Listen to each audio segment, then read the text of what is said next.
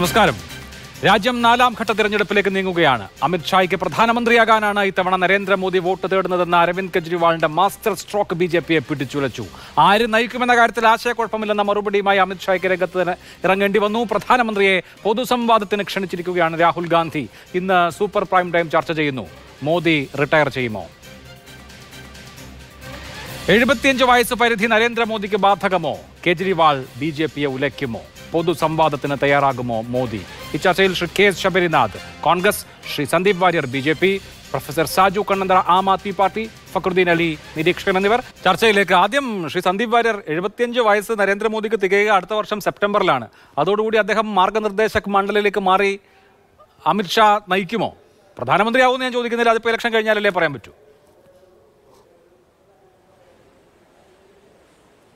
മറുപടി ഇന്ന് ശ്രീ അമിത്ഷാജി തന്നെ പറഞ്ഞിട്ടുണ്ടല്ലോ. നിങ്ങൾ അങ്ങനെ നരേന്ദ്രമോദി റിട്ടയർമെന്റ് കണ്ട് നിങ്ങൾ ആരും പനിക്കേണ്ട. ആ കട്ടിൽ കണ്ടിട്ട് ആരും പനിക്കേണ്ടതില്ല.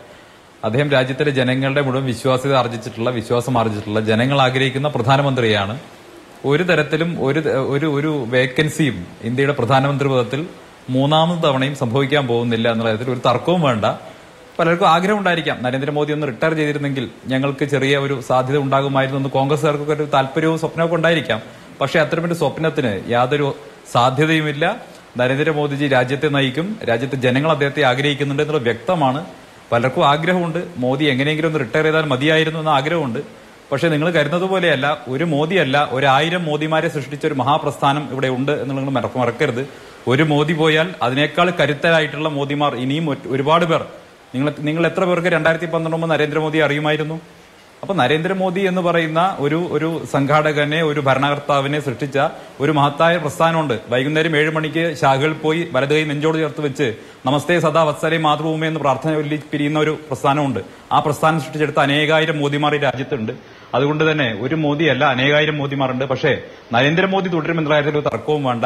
അത് അർത്ഥശങ്കയ്ക്കിടയില്ലാത്ത വിധം. അല്ല ശ്രീ സന്ദീപ് വാര്യർ. ഇപ്പോൾ ശരിയാണ് ഓരോ പാർട്ടികളുടെയും നേതാക്കളെ അതാത് പാർട്ടികളാണ് തെരഞ്ഞെടുക്കുക. അതിന് അവർക്ക് സംവിധാനമുണ്ട് പക്ഷേ ഇവിടെ ഇപ്പോ ബി ജെ പിയുടെ സമീപകാലത്തെ തെരഞ്ഞെടുപ്പ് വിജയത്തിന് രണ്ടായിരത്തി പതിനാല് മുതൽ ഇങ്ങോട്ടുള്ള വിജയത്തിന് മോഡി ഒരു ഫാക്ടറാണ്. മോഡി എന്ന് പറയുന്ന പേഴ്സണ ഒരു പ്രധാനപ്പെട്ട കാര്യമാണ്. ബി ജെ പിക്ക് ഏറ്റവും അധികം വോട്ട് ക്യാച്ച് ചെയ്യുന്ന പേര് എന്ന് പറയുന്നത് നരേന്ദ്രമോദിയാണ്. അപ്പോൾ മോഡിയുടെ ഗ്യാരണ്ടിയാണ് ഈ ഇലക്ഷനിൽ ബി ജെ പി വെക്കുന്ന ഏറ്റവും വലിയ മുദ്രാവാക്യവും. അപ്പോൾ മോഡിയുടെ ഗ്യാരണ്ടി അമിത്ഷായെ പ്രധാനമന്ത്രിയാക്കാനാണെന്ന് കെജ്രിവാൾ പറയുമ്പോൾ അത് ചെന്ന് ചില സ്ഥലത്തങ്ങൾക്ക് കൊള്ളും. ആ മോഡി പേഴ്സണെ മാറ്റി വെച്ച് വേറൊരു ആർ എസ് എസ്കാരൻ വരും. ഇതുപോലെ തന്നെയാണ് മോദിയും വന്നത് എന്ന് പറയുന്നത് കൊണ്ട് എങ്ങനെയാണത് ജനങ്ങൾക്ക് കമ്മ്യൂണിക്കേറ്റ് ചെയ്യുക അല്ല ജനങ്ങൾക്ക് കമ്മ്യൂണിക്കേറ്റ് ചെയ്യാൻ ഒരു പ്രയാസമില്ലെന്നേ. ജനങ്ങൾ മോദി ആഗ്രഹിക്കുന്നു നരേന്ദ്രമോദിയെ പ്രധാനമന്ത്രിയായി കാണാൻ ആഗ്രഹിക്കുന്നു എന്നുള്ളത് ജൂൺ മാസം നാലാം തീയതി നിങ്ങൾക്ക് ബോധ്യപ്പെടും. ഇപ്പൊ നിങ്ങളുടെ ഈ പിന്നെ പ്രതീക്ഷകൾ നിങ്ങളുടെ സ്വപ്നങ്ങൾ നിങ്ങളുടെ അവസാനത്തെ ചില പ്രതീക്ഷകൾ അങ്ങനെ പ്രതീക്ഷ കൈ അങ്ങനെ വെക്കാൻ നിങ്ങൾക്ക് എല്ലാവർക്കും അവകാശമുണ്ട്. ഈ രാജ്യത്ത് നരേന്ദ്രമോദിയെ വെറുക്കുന്ന എതിർക്കുന്ന ബി ജെ പിയെ വെറുക്കുന്ന എതിർക്കുന്ന രാഷ്ട്രീയ പാർട്ടികൾക്കും മാധ്യമപ്രവർത്തകർക്കും ഒക്കെ നരേന്ദ്രമോദി റിട്ടയർ ചെയ്തിരുന്നെങ്കിൽ നരേന്ദ്രമോദി ഇല്ലാതായിരുന്നെങ്കിൽ എന്നവർ ആഗ്രഹിക്കുന്നവരുണ്ടല്ലോ. നരേന്ദ്രമോദിയെ താഴെ ഇറക്കാൻ വേണ്ടി പാകിസ്ഥാന്റെ സഹായം തേടിയവരാണല്ലോ കോൺഗ്രസ്സുകാർ. അപ്പൊ സ്വാഭാവികമായിട്ടും അത്തരം ആഗ്രഹം അവർക്കുണ്ടായിരിക്കാം. ഇപ്പൊ ഖാലിസ്ഥാൻ തീവ്രവാദികളുടെ കയ്യിൽ നിന്നും പണം പറ്റുന്ന ആം ആദ്മി പാർട്ടിക്കാർക്ക് നരേന്ദ്രമോദി ഏതെങ്കിലും തരത്തിൽ ഇല്ലാതാക്കാൻ ആഗ്രഹം ഉണ്ടായിരിക്കാം. സ്വാഭാവികമാണ്. അദ്ദേഹത്തിനെ ശാരീരികമായിട്ട് ഇല്ലാതാക്കാൻ വേണ്ടിയിട്ടുള്ള പരിശ്രമം സ്വാഭാവികമായിട്ട് നടക്കാം. അതൊക്കെ സ്വാഭാവികമാണ്. പക്ഷേ നരേന്ദ്രമോദി ഈ രാജ്യത്തെ ജനങ്ങൾ ആഗ്രഹിക്കുന്ന പ്രധാനമന്ത്രിയാണ്. രണ്ട് തവണ പൂർണ ഭൂരിപക്ഷത്തോടെ രാജ്യത്തെ ജനങ്ങൾ തെരഞ്ഞെടുത്ത പ്രധാനമന്ത്രിയാണ്. അത് അത് മാത്രമല്ല പന്ത്രണ്ട് വർഷം തുടർച്ചയായി ഗുജറാത്തിലെ ജനങ്ങൾ തെരഞ്ഞെടുത്ത മുഖ്യമന്ത്രി കൂടിയായിരുന്നു. അതുകൊണ്ട് തന്നെ ഇത്രയും തുടർച്ചയായ കാലം ജനങ്ങളുടെ അംഗീകാരത്തോടു കൂടി ഒരു ഭരണഘടനാ പദവിയിലിരുന്ന മറ്റൊരു വ്യക്തി സമീപകാലത്തൊന്നും ഇന്ത്യൻ രാഷ്ട്രീയത്തിൽ ഉണ്ടായിട്ടില്ല.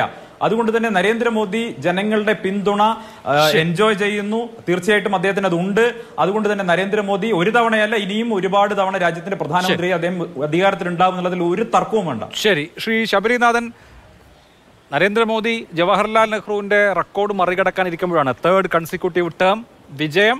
തുടർന്ന് ഏറ്റവും അധികം നാൾ ഏറ്റവും അധികം വർഷം പ്രധാനമന്ത്രിയായിരുന്ന ആൾ തുടങ്ങിയവയൊക്കെ ലക്ഷ്യം വെക്കുമ്പോഴാണ് കെജ്രിവാൾ ഇങ്ങനെ പറയുന്നത്. നരേന്ദ്രമോദി റിട്ടയർ ചെയ്യാൻ പോവാണ്. അമിത്ഷാ അടുത്ത പ്രധാനമന്ത്രിയായി വരും. ഇപ്പോൾ മോദിയുടെ ഗ്യാരണ്ടി പിടി പറഞ്ഞ് വോട്ട് പിടിക്കുന്നത് അമിത്ഷായ്ക്ക് വേണ്ടിയാണെന്ന് പറഞ്ഞാൽ രാഷ്ട്രീയത്തിൽ അതൊരു ഒരു ഇളക്കം ഉണ്ടാക്കാൻ കഴിയും എന്നുള്ളതിനപ്പുറത്ത് വസ്തുതാപരമാവും ആവുമോ? ഇല്ല ഇത് നമ്മൾ നമ്മളാരും പ്രതീക്ഷിക്കാത്തൊരു പോയിന്റാണ് ഇന്നലെ ജയിലിൽ നിന്ന് ഇറങ്ങിയ ശ്രീ കേജ്രിവാൾ പറഞ്ഞത്. അദ്ദേഹം പറഞ്ഞതിന് പോയിന്റിന് കാരണവുമുണ്ടല്ലോ. കാരണം എഴുപത്തഞ്ച് വയസ്സിന് കഴിഞ്ഞ ആളുകളൊക്കെ മാർഗനിർദ്ദേശക് മണ്ഡലിലേക്ക് പോകണമെന്ന് മുരളി മനോഹർ ജോഷിയുടെ കേസിലും അഡ്വാനിയുടെ കേസിലും ഒക്കെ തീരുമാനമെടുത്ത ഒരു പാർട്ടിയാണ്. ഇപ്പോൾ ഇവിടെ നിന്ന് സന്ദീപ് വാര്യർ നരേന്ദ്രമോദി എഴുപത്തഞ്ച് വയസ്സാകും മാറുമോ ഇല്ലയോ? അവർക്കെല്ലാം ആർ എസ് എസ്സുകാരാണ്. താഴെ വന്ന ആളുകളൊക്കെ പറയുന്നുണ്ടെങ്കിലും രണ്ടായിരത്തി നാൽപ്പത്തേഴ് വരെ മോദി എന്ന് പറയുന്നത് കഴിഞ്ഞ ആഴ്ച വരെ പറഞ്ഞുകൊണ്ടിരുന്നത്. ഓർമ്മയുണ്ടോ? ഈ സർക്കാർ രണ്ട് ടേമല്ല മൂന്ന് ടേമല്ല അമൃത് കാലം എന്ന് പറഞ്ഞാൽ തീരുന്നത് രണ്ടായിരത്തി നാൽപ്പത്തി ഏഴ് സ്വാതന്ത്ര്യത്തിന്റെ നൂറാം വർഷം വരെ ഇവിടെ മോദി കാണുമെന്നുള്ള പ്രചരണം നടത്തിയ ആളുകൾ തന്നെ ഇപ്പോൾ മോദി അല്ലാതെ മറ്റൊരാളെന്നൊരു ചോദ്യത്തിലേക്ക് എത്തേണ്ട ഒരവസ്ഥയിൽ എത്തിയിരിക്കുകയാണ്. ഒരു കാര്യം വളരെ ക്ലിയർ ആണ് അഭിലാഷ്. കഴിഞ്ഞ ഈ ഇലക്ഷൻ തുടങ്ങിയ നാൾക്ക് മുതൽ കാറ്റ് മാറി തുടങ്ങി എന്നുള്ളത് ബി ജെ പിക്കാർക്ക് പോലും മനസ്സിലാക്കുന്ന കാര്യമാണ്. ഞാൻ ഈ ചാനൽ ചർച്ചയ്ക്ക് തയ്യാറാവുന്നതിന് മുമ്പ് ഒരു അല്പനേരം ഇന്ത്യ ടുഡേ കഴിഞ്ഞ നമ്മളൊക്കെ വായിക്കുന്ന സ്വതന്ത്ര മീഡിയ ആണെങ്കിലും കഴിഞ്ഞ രണ്ട് മൂന്നാൽ വർഷമായി വളരെയധികം മോദി സ്തുതി നടത്തി. അവരുടെ എല്ലാ മോഡ് ഓഫ് ദി നേഷൻ സ്റ്റഡിക്കകത്തും മോദി ഇരുന്നൂറ് മുന്നൂറ് സീറ്റ് കിട്ടും മുന്നൂറ്റമ്പത് കിട്ടും.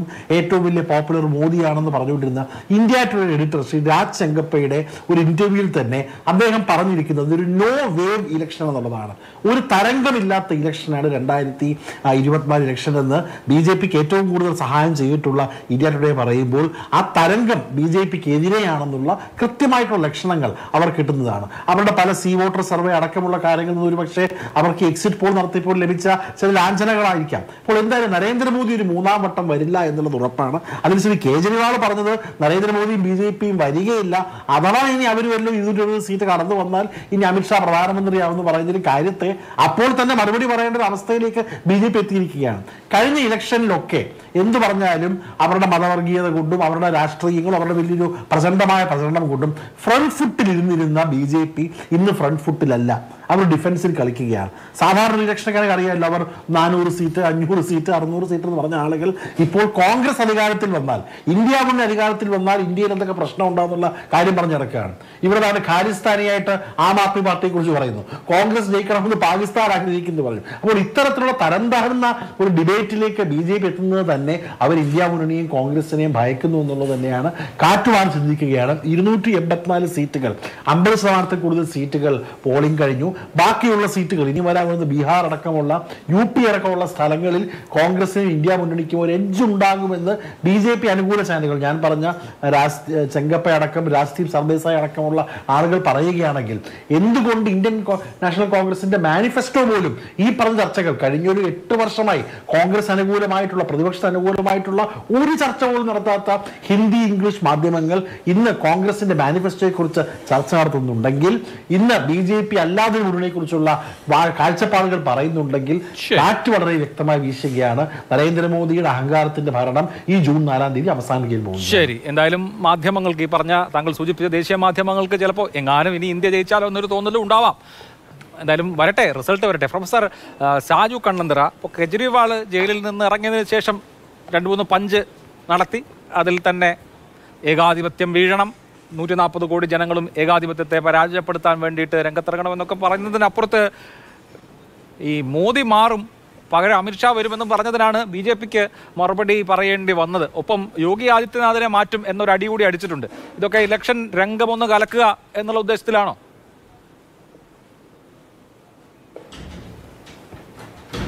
ഇത് ഇലക്ഷൻ രംഗം കലക്കാൻ വേണ്ടിയല്ല അരവിന്ദ് കെജ്രിവാൾ ഇങ്ങനെ ഒരു പ്രസ്താവന ഇറക്കിയിരിക്കുന്നത്.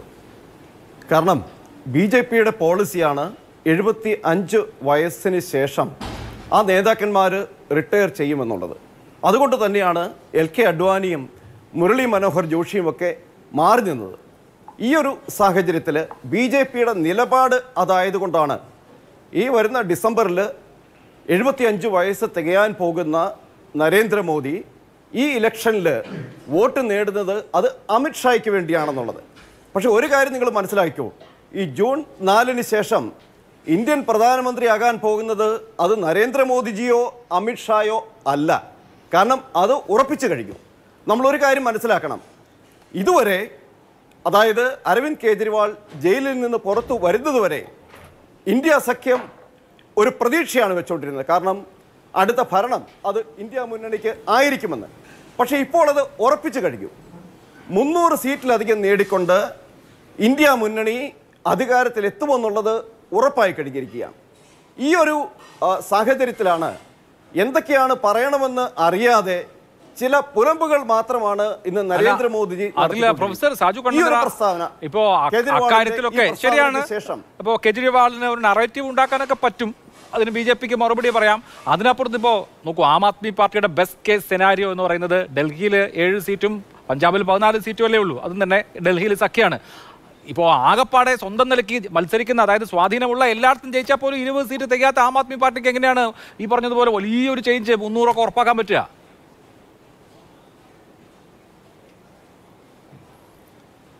സി കേജ്രിവാളും ആം ആദ്മി പാർട്ടിയും ഈ ഇലക്ഷനിൽ വ്യക്തമായ നിലപാടെടുത്തിട്ടുണ്ട്.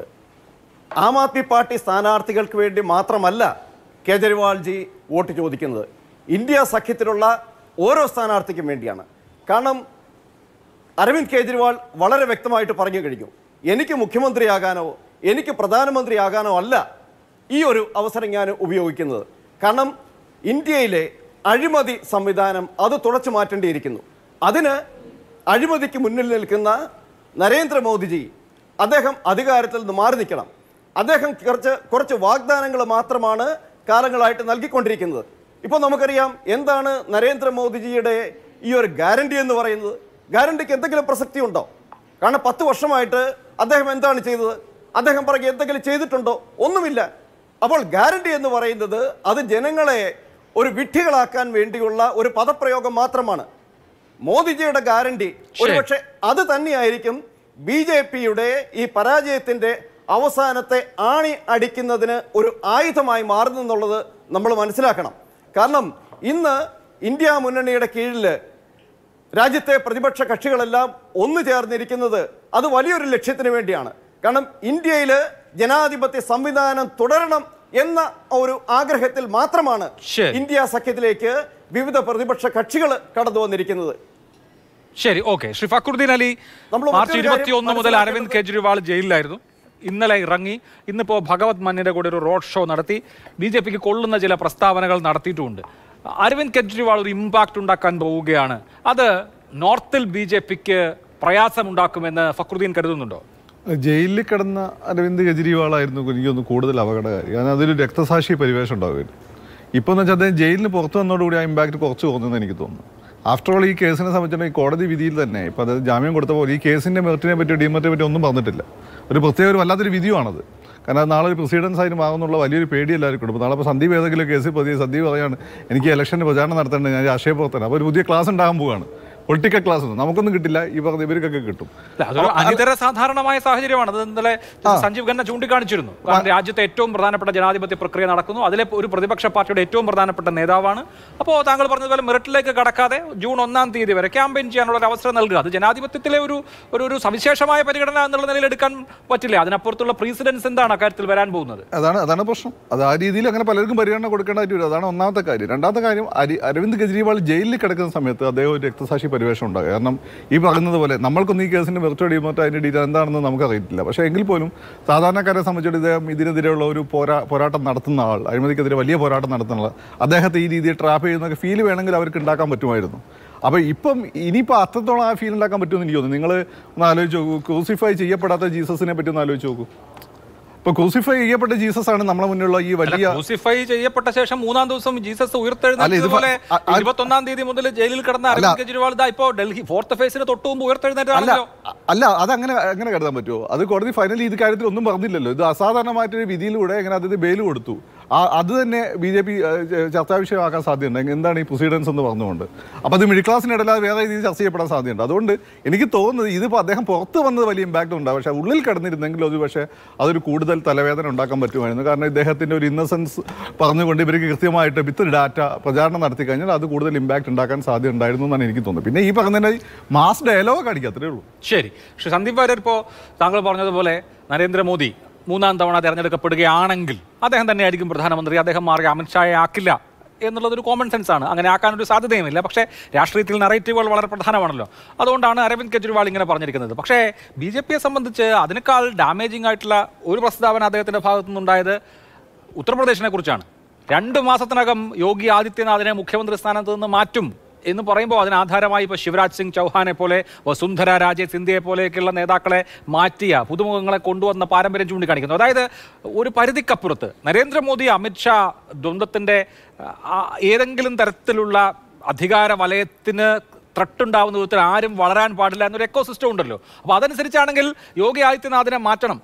ഇതിന് തമാശ എന്താ വെച്ചാൽ ആ ബസ് അതായത് യോഗി ആദിത്യനാഥിനെ മാറ്റും. മോദിക്കും ഷായ്ക്കും എഴുപത് സീറ്റ് കിട്ടിയാൽ എന്ന ചർച്ച ഉത്തർപ്രദേശിൽ ഇതിനോളം തന്നെ ഗ്രൗണ്ടിൽ സജീവമായി ഉണ്ട് താനും. അപ്പോൾ ഉത്തർപ്രദേശിൽ ഏറ്റവും കൂടുതൽ ലോക്സഭാ മണ്ഡലങ്ങളിൽ ഉത്തർപ്രദേശിൽ ഈ പറഞ്ഞ അൻപത് അറുപത് സീറ്റിന് അപ്പുറത്ത് പോയാൽ കുഴപ്പമാണെന്ന് പാർട്ടി വർക്കേഴ്സ് തന്നെ തോന്നുന്ന വിധത്തിലുള്ള ഒരു കാര്യമാണ് അവിടെ ഉരുത്തിരിഞ്ഞു വരുന്നത്.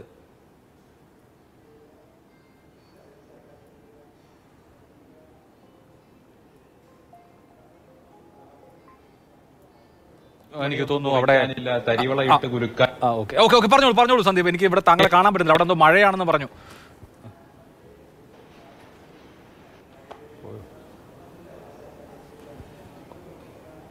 ഓക്കെ അത് അദ്ദേഹത്തിന്റെ കണക്ഷന് ചെറിയ പ്രശ്നമുണ്ട്. അദ്ദേഹത്തെ ഫോണിലെങ്കിലും ലഭ്യമാക്കിയാൽ നന്നായിരുന്നു. എനിക്ക് തോന്നുന്നു അദ്ദേഹം ഇരിക്കുന്ന സ്ഥലത്ത് വലിയ മഴയൊക്കെ ആയ കാരണം സിഗ്നൽ കിട്ടാത്തതാണെന്നാണ് എന്നോട് പ്രൊഡക്ഷൻ കൺട്രോൾ റൂമിൽ നിന്ന് പറയുന്നത്. ഓക്കെ ആവട്ടെ. ശ്രീ ശബരിനാഥ്. അപ്പോൾ താങ്കളൊക്കെ പറയുന്നു ദേശീയ മാധ്യമങ്ങൾ മാറിയിട്ടുണ്ട്. ഇപ്പോൾ മാധ്യമങ്ങളെ സംബന്ധിച്ച് വളരെ നെക്ക് നെക്ക് ഫൈറ്റ് ഉണ്ടാക്കുക എന്നുള്ളത് അവരുടെയും കൂടി ആവശ്യമാണ്. കാരണം വളരെ വൺ സൈഡഡ് ആയിട്ടുള്ള ഒരു ക്രിക്കറ്റ് കളി നടക്കുകയാണെന്ന് വിചാരിച്ചോളൂ. നമ്മളാരും അത് കാണില്ലല്ലോ. കാരണം ഒരു ടീം ജയിക്കുന്ന ഉറപ്പാണ്.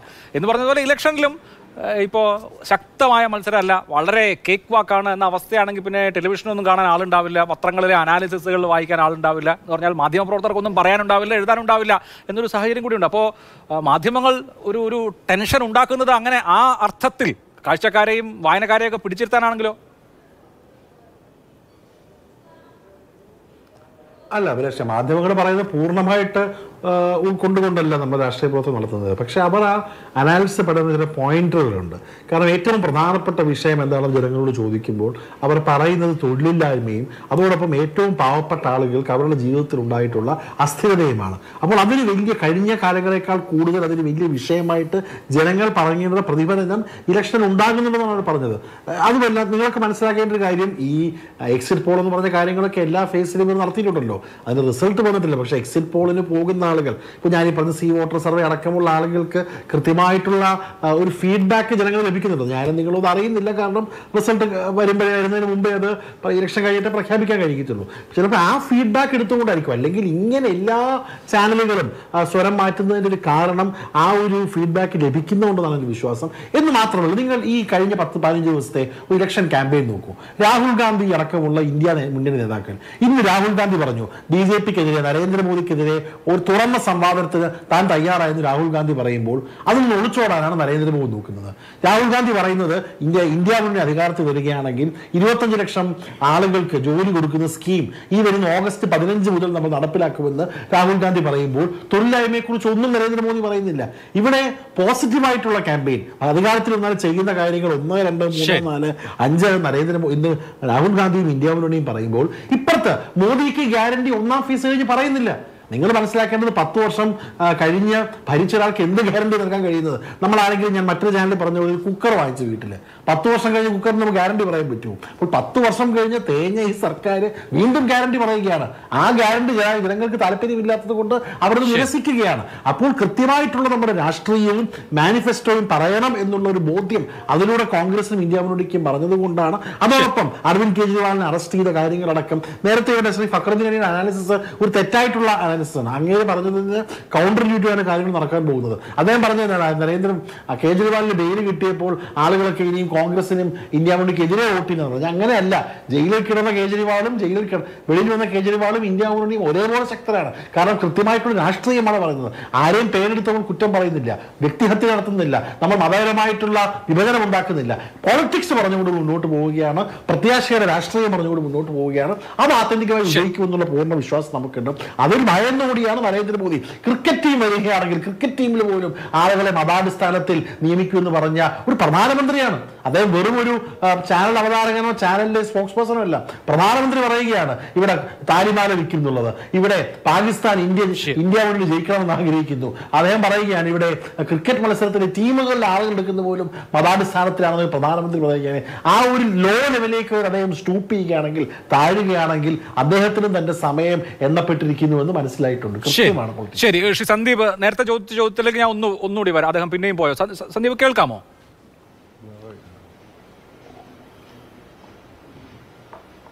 കേൾക്കാം ആ ഓക്കെ. ഇപ്പോൾ ഇവിടെ ശബരി സൂചിപ്പിച്ച ഒരു കാര്യമുണ്ടല്ലോ. ഇപ്പോൾ കോൺഗ്രസിനെയും രാഹുൽ ഗാന്ധിയെയും ടാർഗറ്റ് ചെയ്തിട്ടാണ് നരേന്ദ്രമോദിയുടെ എല്ലാ പ്രസംഗങ്ങളും മിക്കവാറും പ്രസംഗങ്ങളെല്ലാം? എന്തൊക്കെ പറഞ്ഞു? അവരുടെ മാനിഫെസ്റ്റോയിൽ പറയുന്നുണ്ട് വെൽത്ത് ഡിസ്ട്രിബ്യൂഷൻ പറയുന്നുണ്ട്. അതുകൊണ്ട് ഹിന്ദുക്കളായ അമ്മമാരുടെയും പെങ്ങന്മാരുടെയും താലി പൊട്ടിച്ച് കോൺഗ്രസ് മുസ്ലിങ്ങൾക്ക് കൊടുക്കും. രണ്ട് കാളയുണ്ടെങ്കിൽ നിങ്ങളുടെ ഒരു കാളയെ മുസ്ലിങ്ങൾക്ക് കൊടുക്കും. പിന്നെ ക്രിക്കറ്റ് ടീമിലെ മത അടിസ്ഥാനത്തിൽ ആളെ എടുക്കും. ഷഹസാദയെ പ്രധാനമന്ത്രിയാക്കാൻ പാകിസ്ഥാനിൽ കളി നടക്കുന്നു. ഇങ്ങനെ നൂറായിരം കാര്യങ്ങൾ പറഞ്ഞല്ലോ. ഇന്ന് രാഹുൽ ഗാന്ധി ഒരു പൊതു സംവാദത്തിന് വെല്ലുവിളിച്ചിട്ടുണ്ട് പ്രധാനമന്ത്രിയെ. അമേരിക്കയിലൊക്കെ നമ്മൾ പ്രസിഡൻഷ്യൽ ഡിബേറ്റ് കണ്ടിട്ടുണ്ട് ജോ ബൈഡനും ട്രംപും ഒക്കെ തമ്മിൽ. എന്ന് പറഞ്ഞതുപോലെ രാഹുൽ ഗാന്ധിയുമായിട്ട് ഇത്രയും കാര്യങ്ങൾ പറയുന്നതല്ലേ? രാഹുൽ ഗാന്ധിയെ ടാർഗറ്റ് ചെയ്യുന്നതല്ലേ? രാഹുൽ ഗാന്ധിയുടെ വെല്ലുവിളി സ്വീകരിക്കാനുള്ള ധൈര്യം നരേന്ദ്രമോദിക്കുണ്ടോ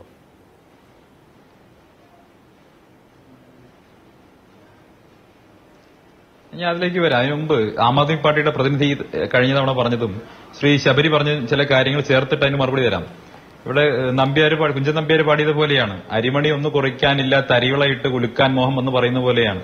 അപ്പൊ അങ്ങനെ ഒരു ഒരു തരത്തിലും ജയിക്കാൻ സാധ്യതയില്ലാത്ത ചില ആളുകൾ ഇപ്പൊ ഇരുന്ന് ഇങ്ങനെ സ്വപ്നം കണ്ടുകൊണ്ടിരിക്കുകയാണ്. അവർക്ക് ജൂൺ നാലാം തീയതി വരെ സ്വപ്നം കാണാൻ എല്ലാ അവകാശമുണ്ട് മോദി വിരോധികളൊക്കെ സ്വപ്നം കാണട്ടെ. രണ്ടായിരത്തി പത്തൊമ്പതിലും രണ്ടായിരത്തി പതിനാലിലും ഇതിനേക്കാൾ വലിയ സ്വപ്നം കണ്ടതാണ് ഇതേ കെജ്രിവാൾ. വാരണാസിയിൽ പോയി മത്സരിച്ച സമയത്ത് നിങ്ങളുടേതുൾപ്പെടെയുള്ള മാധ്യമങ്ങൾ അന്ന് നൽകിയിട്ടുള്ള പ്രചരണവും നരേന്ദ്രമോദി ഇതാ വാരണാസിയിൽ കെജ്രിവാളിനോട് തോൽക്കാൻ പോകുന്നു എന്ന രീതിയിൽ നടത്തിയിട്ടുള്ള ആഖ്യാനങ്ങളും ഒക്കെ ഞങ്ങൾ എത്ര ചർച്ചയിൽ പങ്കെടുത്തതാ? അന്നൊക്കെ ഇതാ മോദി മോദിയെ കേജ്രിവാൾ പരാജയപ്പെടുത്തും എന്ന് പറഞ്ഞ് പരാജയപ്പെടുത്താൻ വേണ്ടി നേരിട്ട് മത്സരിച്ചയാളാണല്ലോ കേജ്രിവാൾ. ആ കേജ്രിവാളിനെ ലക്ഷക്കണക്കിന് വോട്ടിന്റെ ഭൂരിപക്ഷത്തിൽ പരാജയപ്പെടുത്തിയാണ് നരേന്ദ്രമോദി ആദ്യമായി വാരണാസിയിൽ നിന്ന് ജയിക്കുന്നത്. പിന്നീട് ഒരിക്കലും കേജ്രിവാൾ അതിനുള്ള ധൈര്യം പോലും കാണിച്ചിട്ടില്ല. എന്നിട്ട് ആ കേജ്രിവാൾ ഇപ്പൊ പുറത്തിറങ്ങിയിട്ട് പറയുന്നത്. അതും എങ്ങനെയാ പുറത്തിറങ്ങിയിരിക്കുന്നത്? ആ കേസിന്റെ മെറിറ്റുമായി ഒരു തരത്തിലും ആ മെറിറ്റ് പരിശോധിക്കാതെ തെരഞ്ഞെടുപ്പ് പ്രചരണത്തിന് വേണ്ടി മാത്രം നൽകിയിട്ടുള്ള ഒരു ജാമ്യം എന്ന് പറയുക മാത്രമല്ല സാധാരണഗതിയിൽ ഭീകരവാദികൾക്കൊക്കെ വീട്ടിൽ ആരെങ്കിലും മരിക്കുകയോ അതല്ലെങ്കിൽ കല്യാണം ഉണ്ടാവുകയോ ചെയ്യുമ്പോൾ പരോൾ കൊടുക്കുന്നത് പോലെ സറണ്ടർ ചെയ്യാനുള്ള ഡേറ്റ് കൂടി വെച്ച് ഇന്ത്യയുടെ ചരിത്ര ചരിത്രത്തിൽ ചരിത്രത്തിൽ ആദ്യമായിട്ടൊരു ബെയിൽ കൊടുത്തിരിക്കുകയാണ്. ആ ബെയിൽ വാസ്തവത്തിൽ കേജ്രിവാളിനെ അപമാനിക്കുന്ന ബെയിലാണ് അതുപോലും ആക്സെപ്റ്റ് ചെയ്തുകൊണ്ടാണ് അദ്ദേഹം പോയിട്ടുള്ളത്. ഞങ്ങൾ കരുതിയത് ആത്മാഭിമാനമുള്ള ഒരാളും അത്തരം ഒരു ബെയിൽ കണ്ടീഷൻ ആക്സെപ്റ്റ് ചെയ്യില്ല. പക്ഷേ ആ ബെയിൽ കണ്ടീഷൻ പോലും ആക്സെപ്റ്റ് ചെയ്തുകൊണ്ട് കേജ്രിവാൾ പുറത്തു പോയിരിക്കുകയാണ്. എന്നിട്ട് പുറത്തു പോയിട്ട് രണ്ടാം തീയതി തിരിച്ചു പോകേണ്ടയാളാണ് അപ്പൊ തിരിച്ചു പോകുന്നതിന് മുമ്പായിട്ട് ഇപ്പൊ നടത്തുന്ന അഭ്യാസം മാത്രമാണ്. പിന്നെ നേരത്തെ പറഞ്ഞൊരു കാര്യമുണ്ടല്ലോ. കേജ്രിവാളിന്റെ ഇതൊരു സ്പെഷ്യൽ കേസാണെന്നൊക്കെ പറയുന്നു. അപ്പുറത്തൊരു ട്രൈബൽ ഉണ്ട്. അയാൾക്കും ഇതേ പ്രിവിലേജ് കൊടുക്കേണ്ടതാണ്. ഹേമന്ത് സോറൻ എന്ന് പറയുന്ന ഒരു ട്രൈബൽ അയാൾ ആദിവാസിയായി പോയത് കൊണ്ടാണോ അയാളുടെ ബെയിൽ അപ്ലിക്കേഷൻ തള്ളിയതും കേജ്രിവാളിന്റെ ബെയിൽ അപ്ലിക്കേഷൻ ഇവിടെ ഗ്രാൻഡ് ചെയ്തും എന്നുള്ളതൊക്കെ ചർച്ച ചെയ്യപ്പെടുന്നതാണ്. എനിക്കറിയില്ല. അത്തരം ചർച്ചകൾ നടക്കുന്നുണ്ട് സാമൂഹിക മേഖലകളിൽ. പക്ഷേ അതൊക്കെ ദൗർഭാഗ്യകരമായിട്ടുള്ള കാര്യമാണ്. എന്തായാലും നടക്കട്ടെ. പക്ഷേ കേജ്രിവാളിനെ സംബന്ധിച്ചോളം അദ്ദേഹത്തിന് അപമാനകരമായിട്ടുള്ള കണ്ടീഷൻസ് വെച്ചത് അതുപോലും അംഗീകരിച്ചുകൊണ്ട് പുറത്തു പോയിരിക്കുകയാണ്. മുഖ്യമന്ത്രിയുടെ ആഫീസിന്റെ ഏഴ് അയലത്തേക്ക് അടുത്തു പോകരുതെന്ന് പറഞ്ഞിട്ടുണ്ട്. ഈ കേസുമായി ബന്ധപ്പെട്ട ഒരു കാര്യം പോലും മിണ്ടിപ്പോകരുതെന്ന് പറഞ്ഞിട്ടുണ്ട്. ഇതിന്റെ മെറിറ്റുമായി ബന്ധപ്പെട്ട് യാതൊരു തരത്തിലും കോടതി പരിശോധിച്ചിട്ടില്ല എന്ന് പറഞ്ഞിട്ടുണ്ട്. ഇത് മുഴുവൻ നാണമില്ലാതെ അംഗീകരിച്ചുകൊണ്ടാണ് പുറത്തു പോയിട്ടുള്ളത്. ഒന്നവിടെ അത് നിൽക്കട്ടെ. എന്തായാലും അവർക്ക് ഇനി ഇരവാദം കളിക്കാൻ പറ്റില്ല എന്നുള്ളത് വ്യക്തമായിരിക്കുകയാണ്. ഇനി നരേന്ദ്രമോദി ജയിക്കുന്ന സമയത്ത് മൂന്നാമതും പ്രധാനമന്ത്രിയുടെ സമയത്ത് എന്നെ പിടിച്ച് ജയിലിലിട്ടത് കൊണ്ടാണ് അല്ലെങ്കിൽ കാണാമായിരുന്നു എന്നൊരു വീരവാദം പറയാനുള്ള സ്കോപ്പ് ഇതോടുകൂടി ഇല്ലാതായിരിക്കുകയാണെന്നാണ് ഞങ്ങൾ വരുന്നത് ഒന്ന് രണ്ടാമത്തെ കാര്യം എന്തിനാണ് ബി ജെ പിയുടെ കാര്യങ്ങളൊക്കെ കേജ്രിവാൾ പറയുന്നത്? അതിന് വലിയ വാർത്തയാക്കേണ്ട വല്ല കാര്യമുണ്ടോ? ചർച്ച ചെയ്യേണ്ട കാര്യമുണ്ടോ? യോഗിയെ മാറ്റും എന്ന് കേജ്രിവാൾ പറയുന്നു. എന്തർത്ഥമുള്ളത് കേജ്രിവാൾ മേധാവായ ശേഷം കേജ്രിവാളിന്റെ പാർട്ടിയിൽ നിന്ന് പുറത്തുപോയ ആളുകളുടെ എണ്ണം നിങ്ങൾ പരിശോധിക്കുക കേജ്രിവാൾ ഡിക്ടേറ്റർ ആണെന്ന് പറഞ്ഞുകൊണ്ട് കേജ്രിവാൾ ഏകാധിപതിയാണെന്ന് പറഞ്ഞുകൊണ്ട് ആം ആദ്മി പാർട്ടി ഉണ്ടാക്കിയ എത്ര ആളുകൾ ആ പാർട്ടി വിട്ട് പുറത്തുപോയി? പ്രശാന്ത് ഭൂഷൺ എങ്ങനെ പുറത്തുപോയി? അതുപോലെ തന്നെ ഷാസിയ ഇൽമി എങ്ങനെ പുറത്തുപോയി? ഒരുപാട് ഒരുപാട് നേതാക്കൾ എണ്ണിയ ശരി. കേജ്രിവാളിന്റെ ഏകാധിപത്യ സ്വഭാവത്തിൽ പ്രതിഷേധിച്ചുകൊണ്ട് ആ പാർട്ടി വിട്ട് പുറത്തു പോവുകയാണ് ചെയ്തത്. ഇപ്പോ നിങ്ങൾ ചോദിച്ച ഒരു ചോദ്യം. രാഹുൽ ഗാന്ധി നരേന്ദ്രമോദിയെ വെല്ലുവിളിച്ചു എന്ന് പറയുന്നത്. നിങ്ങൾ വാസ്തവത്തിൽ ആ വാർത്ത ക്ലിയർ ആയിട്ടൊന്ന് പറയണം. ദ ഹിന്ദു പത്രമാണ് ഇത്തരത്തിലൊരു ഒരു സംവാദത്തിന് വേദി ഒരുക്കാമെന്ന് പറയുകയും രാഹുൽ ഗാന്ധി അത് ആക്സെപ്റ്റ് ചെയ്തു ചെയ്തു എന്ന് പറയുകയാണ് ചെയ്തത്. ഇത് സംബന്ധിച്ച് അഭിപ്രായം ബി ജെ പി പറഞ്ഞില്ല പക്ഷെ എന്റെ ഒരു അഭിപ്രായം ഞാൻ പറയാം. ഇന്ത്യ മുന്നണിയുടെ പ്രധാനമന്ത്രി സ്ഥാനാർത്ഥി ആരാണ് എന്ന് അവർ നിശ്ചയിച്ച് ആ പ്രധാനമന്ത്രി സ്ഥാനാർത്ഥിയെ നിശ്ചയമായും അവർ നരേന്ദ്രമോദിയുമായി സംവാദത്തിന് അയക്കണം എന്നുള്ളതാണ് എന്റെ അഭിപ്രായം. നിങ്ങളുടെ പ്രധാനമന്ത്രി സ്ഥാനാർത്ഥി ആരാണെന്ന് നിശ്ചയിച്ച് നിങ്ങൾ സംവാദത്തിന് വാ. തീർച്ചയായിട്ടും അത്തരമൊരു സംവാദം നടക്കട്ടെ. തുല്യർ തമ്മിലാണല്ലോ സംവാദം വേണ്ടത്. നാളെ ഇന്ത്യ മുന്നണി അധികാരത്തിൽ വന്നാൽ പ്രധാനമന്ത്രിയാകാൻ സാധ്യതയുള്ളത് ആരാണ്? കെജ്രിവാൾ ആണോ അതോ രാഹുൽ ഗാന്ധിയാണോ? അതോ ഇനി മമതയാണോ? ശരത് പവാർ ആണോ അതോ ഇനി സ്റ്റാലിൻ ആണോ നിങ്ങളുടെ സ്ഥാനാർത്ഥി ആരാ? നിങ്ങളുടെ പ്രധാനമന്ത്രി സ്ഥാനാർത്ഥി ആരാ? നിങ്ങൾ ഈ സംവാദത്തിന് വിളിക്കുമ്പോൾ മിനിമം ആ കാര്യം തീരുമാനിക്കണ്ടേ. നിങ്ങൾ സ്വയം പ്രഖ്യാപിത ക്യാപ്റ്റനായിട്ട് എങ്ങനെയാ ഒരാൾ മുന്നോട്ട് വരിക? ഇത് മമത സമ്മതിക്കോ? ഇത് പിന്നെ കേജ്രിവാൾ സമ്മതിക്കോ? ഇത് പിന്നെ സമാജ്വാദി പാർട്ടി അഖിലേഷ് സമ്മതിക്കോ? സ്റ്റാലിൻ സമ്മതിക്കോ? നിങ്ങളുടെ ഉള്ളിൽ ആദ്യം ഒരു ഐക്യരൂപം ഉണ്ടാക്കുകയും ആരാണ് മോദിയുമായി സംവദിക്കേണ്ടതെന്ന് സംബന്ധിച്ച് ഒരു ഐക്യരൂപം ഉണ്ടാക്കുക അതിനുശേഷം വരുന്നതായിരിക്കും കൂടുതൽ നല്ലതെന്നാണ് എന്റെ അഭിപ്രായം. അല്ല ഇന്ത്യ മുന്നണി അതിന്റെ ക്യാപ്റ്റൻ അങ്ങനെയുള്ള കാര്യങ്ങളൊക്കെ വിടൂ. രാഹുൽ ഗാന്ധി ഒരു പൊളിറ്റീഷ്യൻ രാഹുൽ ഗാന്ധിയെ നരേന്ദ്രമോദി നിരന്തരം വിമർശിക്കുന്നു. കോൺഗ്രസ് പാർട്ടിയെ നിരന്തരം വിമർശിക്കുന്നു. അങ്ങനെയുള്ള ഒരു കോൺടാക്സിൽ രാഹുൽ ഗാന്ധി ഒരു സംവാദത്തിൽ പങ്കെടുക്കാനുള്ള ക്ഷണം സ്വീകരിച്ചാൽ നരേന്ദ്രമോദിയും ആ സംവാദത്തിനുള്ള ക്ഷണം സ്വീകരിക്കണ്ടേ? അപ്പോൾ ഇവർ തമ്മിൽ പബ്ലിക് പ്ലാറ്റ്ഫോമിൽ ഒരു ചർച്ച നടത്തി ആരാണ് ജയിക്കുക എന്നുള്ളത് നമുക്കും കാണാലോ. അതിനൊരു ധൈര്യം വേണ്ടേ?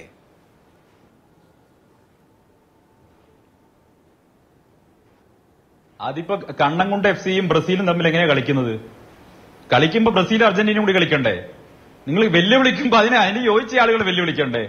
നിങ്ങൾ യാഥാർത്ഥ്യവുമായി ബന്ധപ്പെട്ട് രാഹുൽ അല്ല ഈ ബ്രസീൽ ഈ പറഞ്ഞ കണ്ണങ്കോട് എഫ് സിയെ ഞാൻ ഇപ്പൊ തോപ്പിക്കും അവർ പാകിസ്ഥാന്റെ പിന്നിലുള്ളവരാണ് എന്നൊക്കെ പറയുകയാണെങ്കിൽ അവർ തമ്മിലുള്ള മത്സരത്തിന് ഒരു പ്രസക്തമായ അന്തരീക്ഷമുണ്ട്.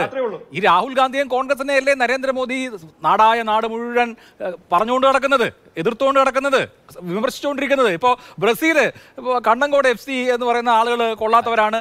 ഇവരൊക്കെ എന്ത് കളിക്കാരാണെന്നൊക്കെ നാല് ഡയലോഗ് അടിച്ച് അവർ തമ്മിലുള്ള മത്സരത്തിന് ഒരു സ്കോപ്പ് ഉണ്ട്.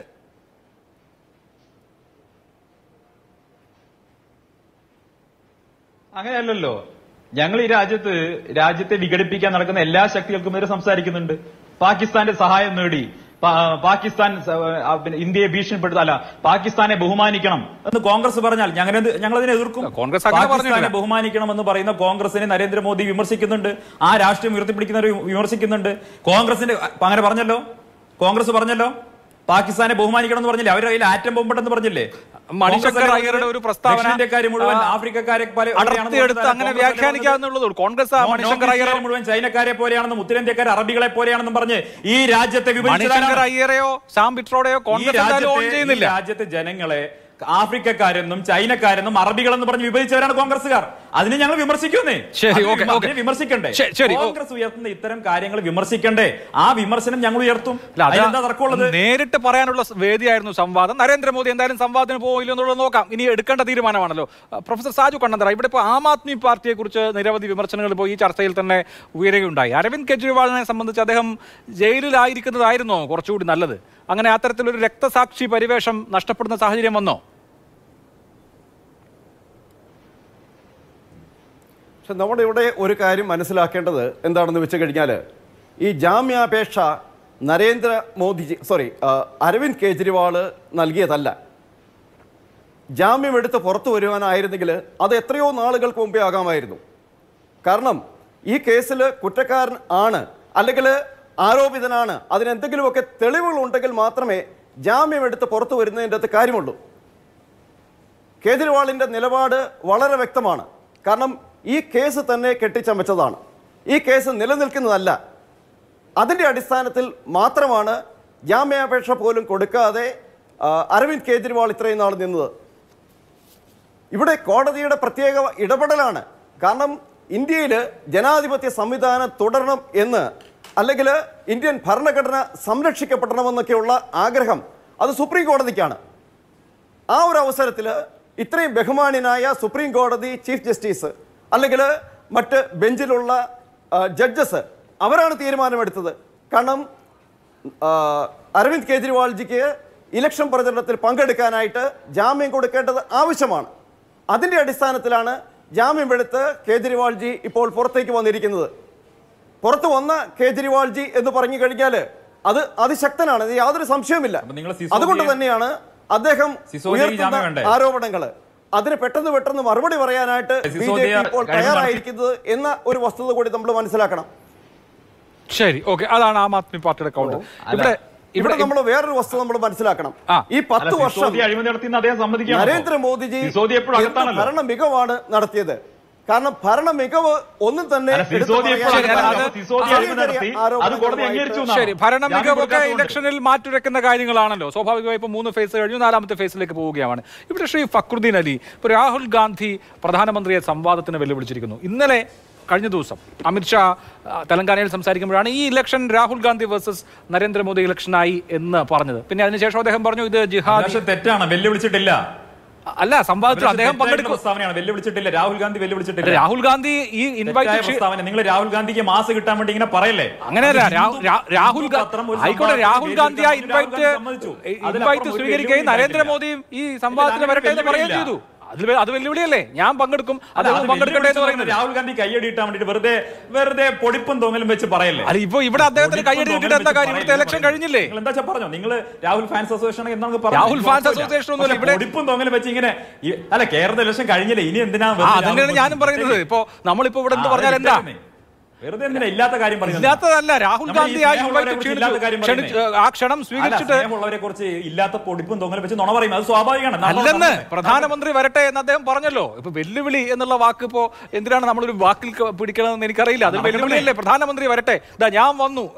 പ്രധാനമന്ത്രി വരട്ടെ. സി പ്രധാനമന്ത്രി വരേണ്ടതല്ലേ? ഞാൻ അത് കോൺഗ്രസ് ഉത്തരം പറയേണ്ട ഞാൻ അതിലേക്ക് വരുന്നുണ്ട് ശ്രീ ഫക്രുദ്ദീൻ. ഇവിടെ ഇപ്പോ ആ തരത്തിലുള്ള ഒരു ഒരു ഒരു അന്തരീക്ഷത്തിലേക്ക് വരികയാണെങ്കിൽ ഇപ്പോൾ നമ്മൾ പ്രസിഡൻഷ്യൽ ഡിബേറ്റ് ഒക്കെ കണ്ടിട്ടുണ്ട്.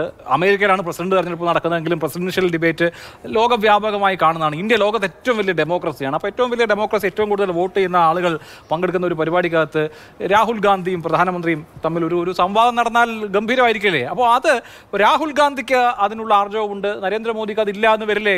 അദ്ദേഹം സംവാദത്തിന് പോയില്ലെങ്കിൽ. അല്ല അത് ഒരു മിഡിൽ ക്ലാസ്സിന്റെ ഇടയിലൊക്കെ ഒരു ലിബറൽ മിഡിൽ ക്ലാസ്സിന്റെ ഇടയിലൊക്കെ അങ്ങനെ ഒരു ഇമേജ് ക്രിയേറ്റ് ചെയ്യപ്പെടാൻ സാധ്യതയുണ്ട്. പക്ഷേ ആ ലിബറൽ മിഡിൽ ക്ലാസ് ഇന്ത്യയിൽ വളരെ ചെറുതൊന്നാണ് വളരെ നാഗരികമായിട്ടുള്ള വളരെ ചെറിയൊരു പ്രതിഭാസമാണ്. പിന്നെ കേരളം പോലെ സൗത്ത് ഇന്ത്യക്കാരാണ് കുറച്ച് വ്യാപകമായിട്ടുള്ളത്. ഉത്തരേന്ത്യയിലൊക്കെ മിഡിൽ ക്ലാസ് എന്തോന്ന് ഡിബേറ്റ് എന്ന് അവർ ചോദിക്കും. കാരണം അവിടെ ഈ അടുത്ത എനിക്ക് തോന്നുന്നു ആരാ അത് പ്രശാന്ത് കിഷോർ പറഞ്ഞെന്ന് തോന്നുന്നു. മോഡിക്കെതിരെ എന്തെങ്കിലും പറഞ്ഞു കഴിഞ്ഞാൽ പോലും ഒരു വിമർശനം ഉന്നയിച്ചാൽ പോലും അത് രാജ്യദ്രോഹമാണ് എന്ന് ചിന്തിക്കുന്ന രീതിയിൽ ആളുകളുടെ മെന്റാലിറ്റി ഉത്തരേന്ത്യയിൽ മാറ്റിയെടുക്കാൻ പറ്റിയിട്ടുണ്ട്. ബി ജെ പി സിസ്റ്റമാറ്റിക് ആയിട്ടുള്ള പ്രവർത്തനവും അവരുടെ ഇടപെടലും വഴി. അപ്പോൾ അങ്ങനെയുള്ളൊരു സൊസൈറ്റി അങ്ങനെ ഒരു ഗ്രാമീണ മേഖലയിൽ നിങ്ങൾ ഇങ്ങനെ ഒരു ഡിബേറ്റിന് പോകുക എന്നൊക്കെ പറഞ്ഞു കഴിഞ്ഞാൽ അല്ലെങ്കിൽ അത് ഏറ്റെടുത്തില്ലെന്ന വലിയ ഇമ്പാക്റ്റ് ഉണ്ടാക്കുമെന്ന് എനിക്ക് തോന്നുന്നില്ല. പക്ഷെ ഇങ്ങനെ ഒരു ഡിബേറ്റ് നടക്കുകയും അതിൽ നരേന്ദ്രമോദി എന്താ പറയുക എന്താ കുറച്ച് ബാക്ക് ഫുട്ടിലാവുകയും ചെയ്തു കഴിഞ്ഞാൽ അത് വലിയ ന്യൂസായി വരും. ഗ്ലോബൽ മീഡിയ വലിയ ന്യൂസാക്കും പിന്നെ ഗ്രാമീണ മേഖലയിലൊക്കെ വലിയ ന്യൂസ് അല്ല ആ നിലയ്ക്ക് രാഹുൽ എമർജ് ചെയ്യുന്നുണ്ട്. നമ്മൾ രണ്ടായിരത്തി പതിനാലിലെ ഇലക്ഷന് മുമ്പ് രാഹുൽ ഗാന്ധിയുടെ അർണാബ് ഗോസ്വാമിയുമായിട്ടുള്ള ഒരു ഇന്റർവ്യൂ ഒരുപക്ഷെ ഫക്രുദ്ദീൻ ഓർക്കുന്നുണ്ടാവും. അപ്പോൾ വലിയ തോതിൽ രാഹുൽ ഗാന്ധി ഫംബിൾ ചെയ്തു. അല്ലെങ്കിൽ രാഹുൽ ഗാന്ധി ഇത് ഇയാളാണോ ഇനി ഇന്ത്യയുടെ പ്രധാനമന്ത്രിയാവാൻ പോകുന്നത് എന്നുള്ള മറ്റുള്ള ഒരു ഇമേജ് ക്രിയേറ്റ് ചെയ്യാൻ വേണ്ടി ആ ഇന്റർവ്യൂവിന് കഴിഞ്ഞിരുന്നു. പക്ഷെ അതൊക്കെ കഴിഞ്ഞ് രാഹുൽ ഗാന്ധി എമർജ് ചെയ്യുന്നോ?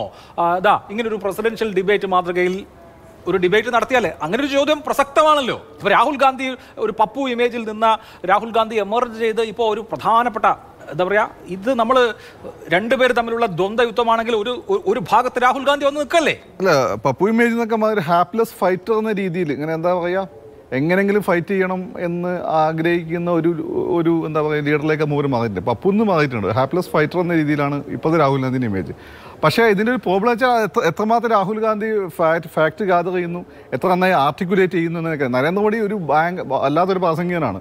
അദ്ദേഹത്തിന് ആക്സിഡന്റ് നിങ്ങൾ മതി. എൺപതുകളിൽ ഇന്ത്യയെ ഇന്ത്യയെ പിടിച്ചു കുലുക്കിയ നമ്മുടെ നിങ്ങൾ പിന്നെ ഈ പിന്നെ കൾച്ചർ സ്റ്റഡീസ് പഠിച്ചാൽ അത് പഠിച്ചിട്ടുണ്ടെന്ന് മനസ്സിലാവും.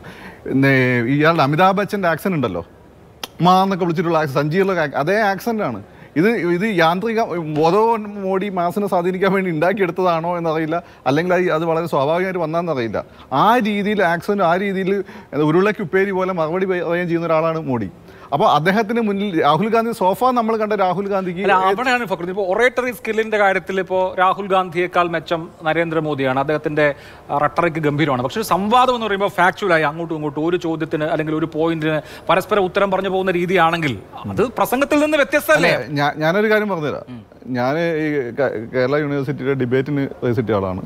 പിന്നെ വേറെ സ്ഥലത്ത് പ്രസംഗത്തിന് പ്രൈസ് ഇട്ടിട്ടുണ്ട് ഈ പ്രസംഗ ഈ ഇതിൽ ഏതെങ്കിലും ഒരു മേഖലയിൽ നല്ല പ്രാവീണ്യമുള്ള ആൾക്ക് രണ്ട് മേഖലയും ശോഭിക്കാൻ പറ്റും.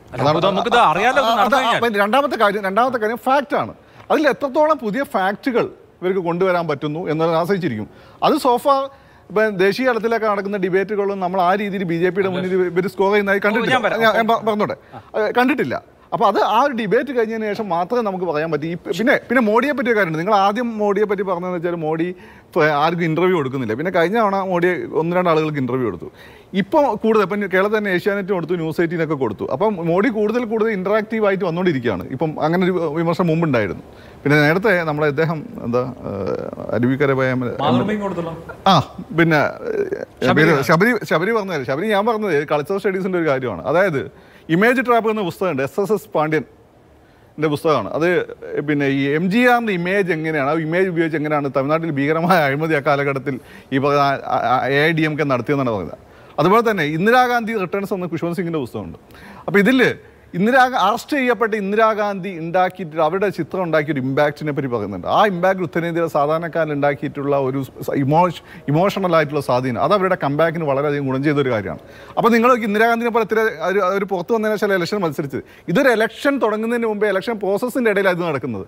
അപ്പോൾ അഴികൾക്കിടയിൽ ഇടയിൽ കിടന്ന് അഴിമതിക്കെതിരെ പോരാടുന്ന കെജ്രിവാളിന്റെ ഇമേജിന് നോർത്ത് ഇന്ത്യ പോലെയുള്ള ഒരു സൊസൈറ്റിയിൽ വലിയൊരു ഇമ്പാക്ട് ഇമ്പാക്ട് ഉണ്ടാക്കാൻ പറ്റും എന്നാണ് ഞാൻ വിശ്വസിക്കുന്നത്. അത് പുറത്ത് വന്ന വന്നു കഴിഞ്ഞാൽ അത്രത്തോളം ഇമ്പാക്ട് ഉണ്ടാകണമെന്നില്ല. ശരി. ഓക്കെ. ഇവിടെ ശ്രീ ശബരിനാഥ് കോൺഗ്രസിനെ കുറിച്ച് ആ കോൺഗ്രസ് ഏതൊക്കെ തരത്തിൽ നിന്ന് ഇവിടെ നേരത്തെ സന്ദീപ് ആരംഭിച്ചുള്ളൂ ഞാനത് ആവർത്തിക്കുന്നില്ല. അപ്പോൾ ആ തരത്തിൽ ഇന്നും പ്രധാനമന്ത്രി രാഹുൽ ഗാന്ധിയെയും കോൺഗ്രസിനെയും കടന്നാക്രമിച്ചു. അമിത്ഷായും കഴിഞ്ഞ ദിവസങ്ങളിലൊക്കെ പറഞ്ഞിട്ടുള്ള വാചകങ്ങൾ അറിയാമല്ലോ. പ്രത്യേകിച്ച് ഇപ്പോൾ പാകിസ്ഥാൻ പാകിസ്ഥാനാണ് രാഹുൽ ഗാന്ധിയെ സ്പോൺസർ ചെയ്യുന്നത് എന്നുള്ള മട്ടിൽ. അപ്പോൾ ഇതൊക്കെ കേൾക്കേണ്ടി വരികയാണ് ഒരു ഇലക്ഷനിൽ. സാധാരണ നടക്കുന്നതൊക്കെയാണ്. പുതുമയൊന്നും ഞാൻ പറയുന്നില്ല എങ്കിലും ഇപ്പോൾ നാലാം ഫേസിലേക്ക് പോകുമ്പോൾ ഒന്നാം ഫേസ് കഴിഞ്ഞതിന് ശേഷം ഉണ്ടായിട്ടുള്ള ഇത്തരത്തിലുള്ള പ്രസംഗങ്ങൾ ഇമ്പാക്ട് ചെയ്യാൻ പോകുന്നുണ്ട് ഇലക്ട്രേറ്റിനെ എന്ന് കരുതുന്നോ?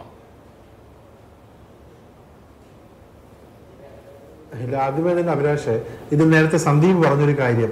രാഹുൽ ഗാന്ധി വെല്ലുവിളിച്ചിട്ടുണ്ടെന്നുള്ളത്. നിങ്ങൾ കൃത്യമായി മനസ്സിലാക്കേണ്ടത് ഹിന്ദുവിൽ എൻറാം അടക്കമുള്ള ആളുകൾ ആ ഒരു ഡിബേറ്റ് നടത്തണം എന്ന് പറഞ്ഞപ്പോൾ താൻ ആ ഡിബേറ്റ് അക്സെപ്റ്റ് ചെയ്യുന്നു. നരേന്ദ്രമോദി ഇത് അക്സെപ്റ്റ് ചെയ്യുകയാണെങ്കിൽ താനും വരാമെന്നുള്ള കൃത്യമായിട്ടൊരു ഇൻഡിക്കേഷൻ രാഹുൽ ഗാന്ധി കൊടുത്തിട്ടുണ്ട്.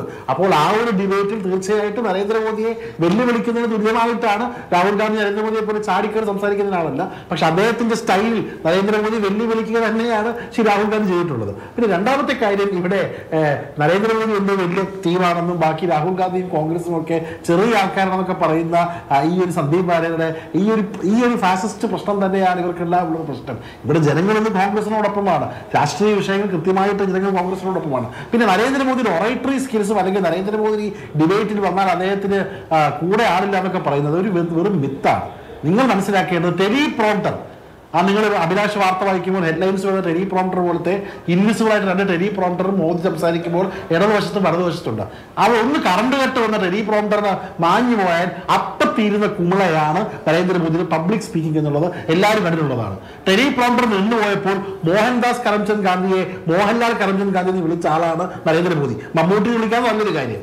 അപ്പോൾ ടെലിപ്രോംപ്റ്റർ പോയാൽ തീരുന്ന ഓറേറ്ററി സ്കിൽസ് ആണ് മോദിയുടെ. പിന്നെ ശ്രീ ഫക്രദീൻ അലി അദ്ദേഹം ഇപ്പോൾ ഒരു മോദി ഭക്തനായതുകൊണ്ട് ഇന്റർവ്യൂവിന്റെ കാര്യം പറഞ്ഞു. അദ്ദേഹം കണ്ട എല്ലാ ഇന്റർവ്യൂവിനും കണ്ടു. ഒന്ന് കൊടുത്തത് അർണബ് ഗോസ്വാമി റിപ്പബ്ലിക് ടിവിക്കകത്ത് അത് അർണബ് ഗോസ്വാമി വിനയം കൊണ്ടും അദ്ദേഹത്തിനുള്ള സ്നേഹം കൊണ്ടും നടു നിവർത്തി പോലും ഇന്റർവ്യൂ നടക്കുന്നില്ല.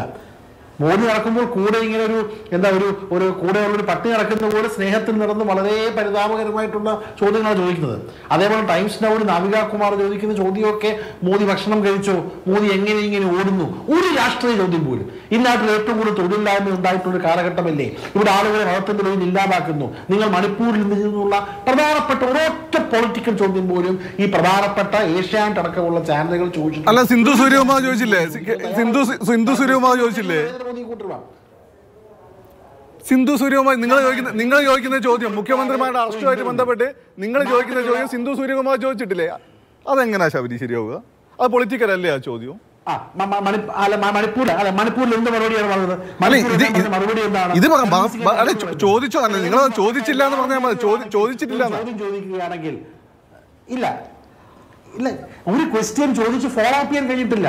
മണിപ്പൂരിൽ എന്തുകൊണ്ട് ഇന്ത്യയുടെ പ്രധാനമന്ത്രി ഒന്നര വർഷമായിട്ടും മണിപ്പൂർ കത്തുമ്പോൾ എന്തുകൊണ്ട് ഇന്ത്യയുടെ പ്രധാനമന്ത്രി പോയിട്ടില്ല ചോദ്യത്തിന് കൺവിൻസിംഗ് ആയിട്ട് മറുപടി കിട്ടാത്തപ്പോൾ ആ ചോദ്യം വീണ്ടും ചോദിക്കാൻ ആ സെറ്റ് ആളുകൾ സമ്മതിക്കുന്നില്ല.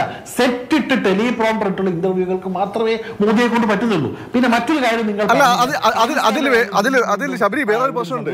മോഡി ഞാൻ പറഞ്ഞ ഹിന്ദിയിൽ ഹിന്ദിയിൽ നല്ല അദ്ദേഹം ഞാൻ അദ്ദേഹത്തെ കുറേ ആളും വിമർശിക്കാൻ വേണ്ടി നന്നായിട്ട് ഫോളോ ചെയ്ത ഒരാളാണ് നിങ്ങളാൽ ഇപ്പോൾ മോഡി ഭക്തി എന്ന് പറയുന്ന അയാൾ ഇന്ത്യയ്ക്ക് ഒരു പ്രധാനമന്ത്രി രീതി ഗുണം ചെയ്യുന്ന കാര്യങ്ങൾ ചെയ്യുമ്പോൾ ഞാൻ ഓക്കെ പറയും. അത് നിങ്ങളെ നേതാവിനെ പറ്റി പറഞ്ഞിട്ടുണ്ട്.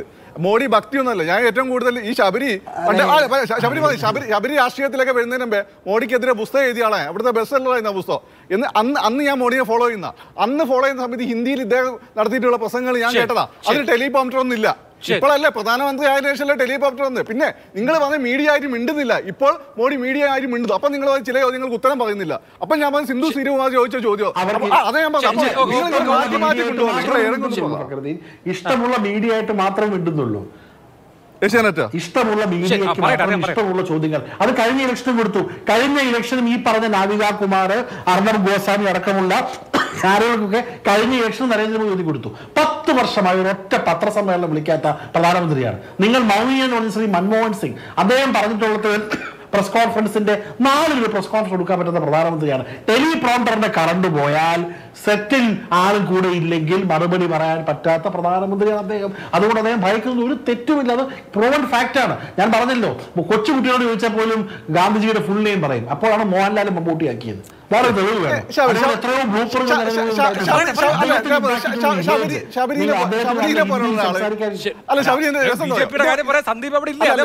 അല്ല, ശബരി-. പറഞ്ഞു. ശബരി ഒന്നുകൂടെ പറഞ്ഞു വേറെ ഒരാൾ സദാശിവൻ ഞാൻ പറഞ്ഞില്ല? ശബരി അങ്ങനെ അല്ലല്ലോ അല്ല, ഞാൻ ഞാൻ പറഞ്ഞൊരു ഞാൻ പറഞ്ഞൊരു കാര്യം. അല്ല മോഹൻലാൽ പറഞ്ഞു തന്നില്ലേ ഇപ്പൊ ഞാൻ തന്നെ ഡിബേറ്റ് ചെയ്യുമ്പോൾ എനിക്ക് പെട്ടെന്ന് ശബരിന്റെ പേര് കിട്ടിയിട്ട് ഇതൊക്കെ സ്വാഭാവിക. അതിനൊന്നും പേര് വിമർശിക്കേണ്ട ആവശ്യമില്ല. ശരി ഓക്കെ നമുക്ക് വിടാം. ഇനിയിപ്പോ അതല്ലല്ലോ ഇവിടുത്തെ തർക്കം. അല്ല അല്ല.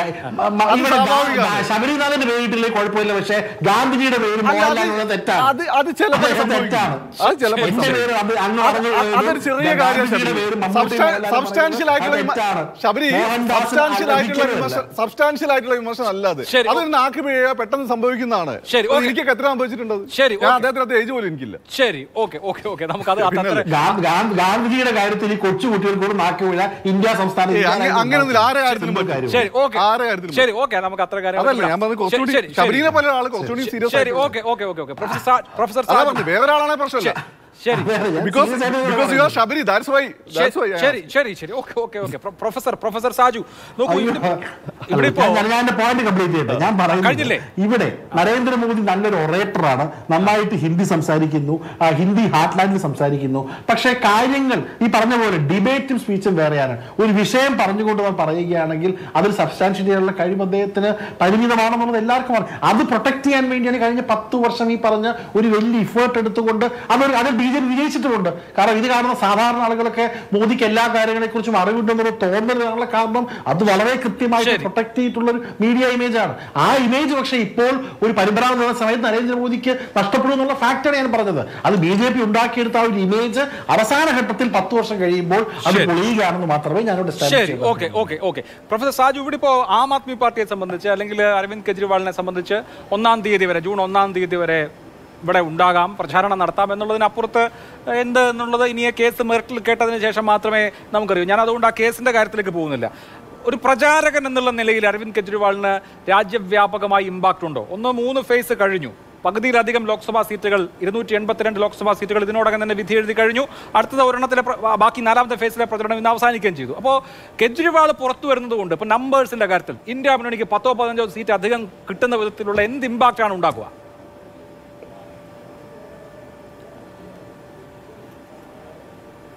See, അരവിന്ദ് കെജ്രിവാൾ പുറത്തു വന്നതിന് ശേഷം വലിയൊരു ഇമ്പാക്റ്റ് ഉണ്ടാക്കാൻ സാധിക്കും എന്നുള്ളത് ഒരു വസ്തുതയാണ്. പക്ഷേ നമ്പർ പറയുമ്പോൾ ഓക്കെ ഇത് ഫോർത്ത് ഫേസിലേക്ക് കടന്നിരിക്കുകയാണ്. അതിന് സംശയമൊന്നുമില്ല. പക്ഷേ ഒരു കാര്യം നമ്മൾ മനസ്സിലാക്കേണ്ടത് പുറത്തു വന്ന കേജ്രിവാൾ അതോടൊപ്പം തന്നെ അകത്ത് കിടന്ന കേജ്രിവാളും ശക്തനായിരുന്നു എന്നുള്ളത് എല്ലാവരും മനസ്സിലാക്കണം. കാരണം ഇവിടെ അരവിന്ദ് കേജ്രിവാൾ ഉയർത്തിയിരിക്കുന്ന പല ചോദ്യങ്ങളുണ്ട്. ഈ ചോദ്യങ്ങൾക്ക് വ്യക്തമായ മറുപടി പറയുവാനായിട്ട് ബി ജെ പിക്കോ അല്ലെങ്കിൽ നരേന്ദ്രമോദിജിക്കോ സാധിച്ചിട്ടില്ല. നമ്മളിവിടെ ഒരു കാര്യം മനസ്സിലാക്കേണ്ടത് എന്താണെന്ന് വെച്ച് കഴിഞ്ഞാൽ കഴിഞ്ഞ പത്ത് വർഷമായിട്ട് ഇന്ത്യ ഭരിച്ച ബി ജെ പിക്ക് അവരുടെ ഭരണ മികവ് എടുത്തു പറഞ്ഞ് വോട്ട് ചോദിക്കാനായിട്ട് ഈ രണ്ടായിരത്തി ഇരുപത്തിനാലിൽ സാധിച്ചില്ല എന്നുള്ളത് തന്നെ നരേന്ദ്രമോദിജിയുടെ ഭരണ പരാജയത്തിന്റെ ഏറ്റവും വലിയ ഉദാഹരണമാണ്. കാരണം നരേന്ദ്രമോദിജി പ്രതിപക്ഷം ഉന്നയിക്കുന്ന ചില ചോദ്യങ്ങൾക്ക് മറുപടി പറഞ്ഞുകൊണ്ടാണ് നടക്കുന്നത്. അതിനേക്കാളൊക്കെ വ്യത്യസ്തമായിട്ട് നമുക്കറിയാം ഈ അടുത്ത കാലത്ത് അദ്ദേഹം നടത്തിയ ചില പരാമർശങ്ങൾ. ഇന്ത്യൻ ക്രിക്കറ്റ് ടീമിൽ അത് മതാതടിസ്ഥാനത്തിലായിരിക്കും ഇനി സെലക്ഷൻ നടക്കാൻ പോകുന്നത്. ചില കൊച്ചു കുഞ്ഞുങ്ങൾ പറയുന്ന രീതിയിൽ ചില ആരോപണങ്ങളൊക്കെ ആയിട്ട് പ്രതിപക്ഷങ്ങളെ അടച്ചാക്ഷേപിക്കാനുള്ള ഒരു ശ്രമം മാത്രമാണ് ഇപ്പോൾ നരേന്ദ്രമോദിജിയുടെ ഭാഗത്തു നിന്നും ഉണ്ടായിരിക്കുന്നത്. കാരണം അദ്ദേഹത്തിന് എടുത്തു പറയാനായിട്ട് ഒരു ഭരണ മികവുമില്ല ആ ഭരണ മികവ് ഉണ്ടായിരുന്നെങ്കിൽ അത് എടുത്തു പറഞ്ഞുകൊണ്ടായിരിക്കണം ഈ രണ്ടായിരത്തി ഇരുപത്തിനാലിൽ അദ്ദേഹം വോട്ട് ചോദിക്കേണ്ടിയിരുന്നത്. അതിന് അദ്ദേഹത്തിന് സാധിച്ചില്ല. അദ്ദേഹം ഇന്നൊരു വലിയൊരു ഒരു ഭയത്തിലാണ്. കാരണം അദ്ദേഹത്തിന് വളരെ വ്യക്തമാണ് ഈ ഇലക്ഷനിൽ ബി ജെ പി അധികാരത്തിൽ വരില്ല എന്നുള്ളത്. ആ ഒരു ഭയം അദ്ദേഹത്തിന് മനസ്സിൽ കിടക്കുന്നത് കൊണ്ടാണ് എന്തൊക്കെയോ ചില പുലഭ്യങ്ങൾ അദ്ദേഹം പറഞ്ഞു നടക്കുന്നത്. ഇതിൽ നിന്നൊക്കെ തന്നെ നമുക്ക് വ്യക്തമാകുന്ന ഒരു വസ്തുതയില്ലേ? ഇന്ത്യ മുന്നണി അതിശക്തമായിട്ട് മുന്നോട്ട് പോയിക്കൊണ്ടിരിക്കുന്നു. ആ ഇന്ത്യ മുന്നണിക്ക് ശക്തി പകരുവാനായിട്ട് ഇന്ന് കേജ്രിവാളും ഇന്ത്യ മുന്നണിയുടെ നേതാക്കന്മാരോടൊപ്പം ഇവിടെ എത്തിക്കഴിഞ്ഞു. അപ്പോൾ ഇതൊരു അസലഭ മുഹൂർത്തമാണ് എന്ന് തന്നെ പറയേണ്ടിയിരിക്കുന്നു ഇന്ത്യ മുന്നണിയെ സംബന്ധിച്ചിടത്തോളം. ഇനി ബാക്കി വരുന്ന സീറ്റുകളിലെല്ലാം തന്നെ അതിശക്തമായ വിജയം നേടിക്കൊണ്ട് ഇന്ത്യ മുന്നണി അധികാരത്തിൽ വരും. അതിന് യാതൊരു സംശയവുമില്ല. കാരണം നമ്മളിവിടെ മറ്റൊരു കാര്യം മനസ്സിലാക്കേണ്ടത് എന്താണെന്ന് വെച്ച് കഴിഞ്ഞാൽ ജയിലിൽ കിടന്ന അരവിന്ദ് കെജ്രിവാൾ. അദ്ദേഹത്തിന് പുറത്തു വരണമെന്നുണ്ടെങ്കിൽ ഞാൻ നേരത്തെ തന്നെ പറഞ്ഞതാണ്. ബെയിൽ ആപ്ലിക്കേഷൻ നേരത്തെ തന്നെ കൊടുക്കാമായിരുന്നു. പക്ഷേ അദ്ദേഹം അതിന് തയ്യാറായില്ല. കാരണം ഈ ഒരു കേസ് അത് കെട്ടിച്ചമച്ചതാണെന്നുള്ളത് അറിയാവുന്ന ഒരു വസ്തുതയാണ്. കാരണം പ്രതിപക്ഷത്തെ ഉന്മൂലനം ചെയ്യുവാനായിട്ട് ബി ജെ പിയും നരേന്ദ്രമോദിജിയും ചെയ്ത ചില കുൽസിത ശ്രമങ്ങളുടെ ഭാഗമായിട്ട് മാത്രമാണ് അരവിന്ദ് കെജ്രിവാൾ അറസ്റ്റിലായി ജയിലിലായത്. ഇതൊരു വസ്തുതയാണ്.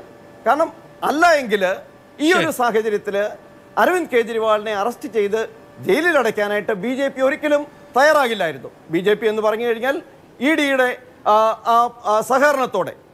ഇപ്പോൾ ഇവിടെ നമ്മൾ മനസ്സിലാക്കേണ്ട മറ്റൊരു വസ്തുത എന്താണെന്ന് വെച്ച് കഴിഞ്ഞാൽ ഈ മോഡിയുടെ ഗ്യാരണ്ടി ഈ മോദിയുടെ ഗ്യാരണ്ടി എന്ന് പറയുന്നത് തന്നെ ഞാൻ നേരത്തെ പറഞ്ഞു കഴിഞ്ഞു. അത് നമ്മൾ നേരത്തെ ഒന്ന് പറഞ്ഞാണല്ലോ. ഒന്നും പറയാനില്ല എന്നുള്ളതല്ലേ? ഓക്കെ ആവട്ടെ. ശരി ശ്രീ സന്ദീപ് വാര്യർ ഒന്ന് ഈ ഇലക്ഷൻ ടേൺ ചെയ്യുകയാണോ എന്ന സംശയം പല ഇടങ്ങളിൽ നിന്ന് മാധ്യമ പ്രവർത്തകർ നിരീക്ഷകർ രാഷ്ട്രീയ വിദ്യാർത്ഥികളൊക്കെ ഉന്നയിക്കുന്നു ഒന്ന്. ഇതിനോടകം തന്നെ ഇവിടെ സൂചിപ്പിച്ചതുപോലെ മൂന്ന് ഫേസിലെയും എക്സിറ്റ് പോൾ ഡേറ്റ എന്തായാലും ആ പോൾ നടത്തിയിട്ടുള്ള ഏജൻസികൾ ക്രോഡീകരിക്കുകയും വിശകലനം ചെയ്യുകയും ചെയ്ത് കാണുമല്ലോ. അപ്പോൾ ഈ ഇലക്ഷൻ ഏകപക്ഷീയമല്ല ഇതൊരു വേവ് ഇല്ലാത്ത ഇലക്ഷനാണ് തരംഗമില്ലാത്ത ഇലക്ഷനാണ് എന്നൊക്കെയുള്ള സൂചന ഒരു ഭാഗത്ത്. മറുഭാഗത്ത് പോസിറ്റീവ് ക്യാമ്പയിനിൽ നിന്ന് നെഗറ്റീവ് ക്യാമ്പയിനിലേക്ക് നെയിം കോളിംഗിലേക്ക് ഡിവൈഡിംഗ് ആയിട്ടുള്ള പ്രസ്താവന നടത്തുന്നതിലേക്ക് പ്രധാനമന്ത്രി നേരിട്ട് മാറുന്നു. അമിത്ഷായും മറ്റുള്ളവരും ഫോളോ ചെയ്യുന്നു. അങ്ങനെ മൊത്തത്തിൽ ഈ ഇലക്ഷൻ എങ്ങനെയാണോ മാർച്ചിൽ ഉണ്ടായിരുന്നത് അതിൽ നിന്ന് തികച്ചും വ്യത്യസ്തമാവുന്നു. മെയ് മാസമാകുമ്പോഴേക്കും എന്നൊരു സാഹചര്യം ഉണ്ടല്ലോ. അപ്പോൾ ഈ പറഞ്ഞ ചെറിയ ഇപ്പോൾ അരവിന്ദ് കെജ്രിവാളിന്റെ റിലീസ് പോലെയുള്ള കാര്യങ്ങൾ പോലും ഇമ്പാക്ട് ചെയ്യാം. പത്തോ ഇരുപതോ സീറ്റുകൾ പോലും. അപ്പോൾ ഇത് നാനൂറ് പ്ലസ് എന്നുള്ളതിൽ നിന്ന് കേവല ഭൂരിപക്ഷത്തിലേക്ക് ഈ ഡിബേറ്റ് മാറിയോ?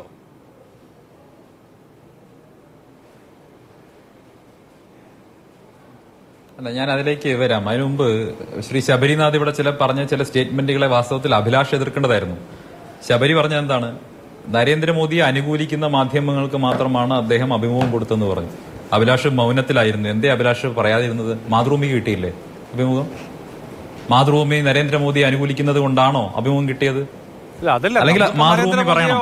ഏതെങ്കിലും ഒരു ഘട്ടത്തിൽ അതൊരു. പ്ലാൻഡ് ആയിട്ടുള്ള ഏതെങ്കിലും ഒരു ഘട്ടത്തിൽ മുൻകൂട്ടി അല്ല അല്ല ഞാൻ പറഞ്ഞോട്ടെ അഭിലാഷേ ഞാൻ പറഞ്ഞോട്ടെ എന്നെ എന്നെ തടസ്സപ്പെടുത്തരുത് പറഞ്ഞു. അവിടെ ശബരിനാഥ് പറഞ്ഞത് നരേന്ദ്രമോദി കൊടുക്കുന്ന അഭിമുഖങ്ങൾ മുഴുവൻ വളരെ ആസൂത്രിതമായിട്ടുള്ള കെട്ടിച്ചമച്ചിട്ടുള്ള മറു ചോദ്യങ്ങൾ ചോദിക്കാൻ അനുവദിക്കാത്ത അജണ്ട വെച്ചിട്ടുള്ള തങ്ങളെ അനു- അനുകൂലിക്കുന്ന മാധ്യമങ്ങൾക്ക് കൊടുക്കുന്ന മാത്രം അഭിമുഖങ്ങളാണ് എന്ന സ്റ്റേറ്റ്മെന്റ് ശബരിനാഥ് മാതൃഭൂമിയുടെ ഫ്ലോറിലിരുന്ന് പറഞ്ഞപ്പോൾ മാതൃഭൂമിയുടെ അവതാരകനായിട്ടുള്ള അഭിലാഷ് അങ്ങനെയല്ല ഞങ്ങളുടെ ഞങ്ങൾക്ക് കൃത്യമായിട്ട് അഭിമുഖം തന്നിട്ടുണ്ട്. ഞങ്ങളുടെ ഇന്റർവ്യൂ എടുത്തയാൾ കൃത്യമായ ചോദ്യങ്ങൾ ചോദിച്ചിട്ടുണ്ട്. ഒരു തരത്തിലും നരേന്ദ്രമോദി അഭിമുഖത്തിൽ ഇടപെട്ടിട്ടില്ല. ഇനി ഇടപെട്ടിട്ടുണ്ടെങ്കിൽ അത് പറയാൻ തുറന്ന് പറയാനുള്ള ആർജവം കാണിക്കണം. ഞങ്ങളെ ഭീഷണിപ്പെടുത്തി നരേന്ദ്രമോദി അതുകൊണ്ട് ഞങ്ങൾക്ക് ചോദ്യം ചോദിക്കാൻ സാധിച്ചില്ല എന്ന് മാതൃഭൂമി പറയണം ഈ ചർച്ചയിൽ ഇല്ലെങ്കിൽ ഇല്ല എന്ന് പറയണം. ഇല്ല ഏതാ ശരി? ഒന്ന് പറയേ അഭിലാഷ്. അല്ല അപ്പോ മാതൃഭൂമി ഈ ശബരിനാഥ് പറഞ്ഞ ശരിയാണോ തെറ്റാണോ ബോധ്യപ്പെടുമല്ലോ. അല്ല എന്തായാലും ഞങ്ങൾ സ്ക്രിപ്റ്റഡ് ആയിട്ടുള്ള ഇന്റർവ്യൂ ഒന്നും നടത്തിയിട്ടില്ല. ചോദ്യങ്ങൾ ചോദിച്ചു അതിന്റെ ഉത്തരം അല്ല. അല്ലല്ല. ഒരു ദിവസം നരേന്ദ്രമോദിയുടെ അഭിമുഖം സ്റ്റേജിലായിരുന്നോ? അല്ല സ്റ്റേജിലൊന്നും ആയിരുന്നില്ല.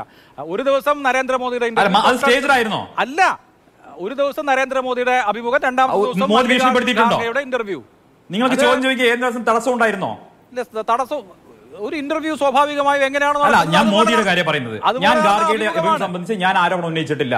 ശബരിനാഥ് ആരോപണം ഉന്നയിച്ചു.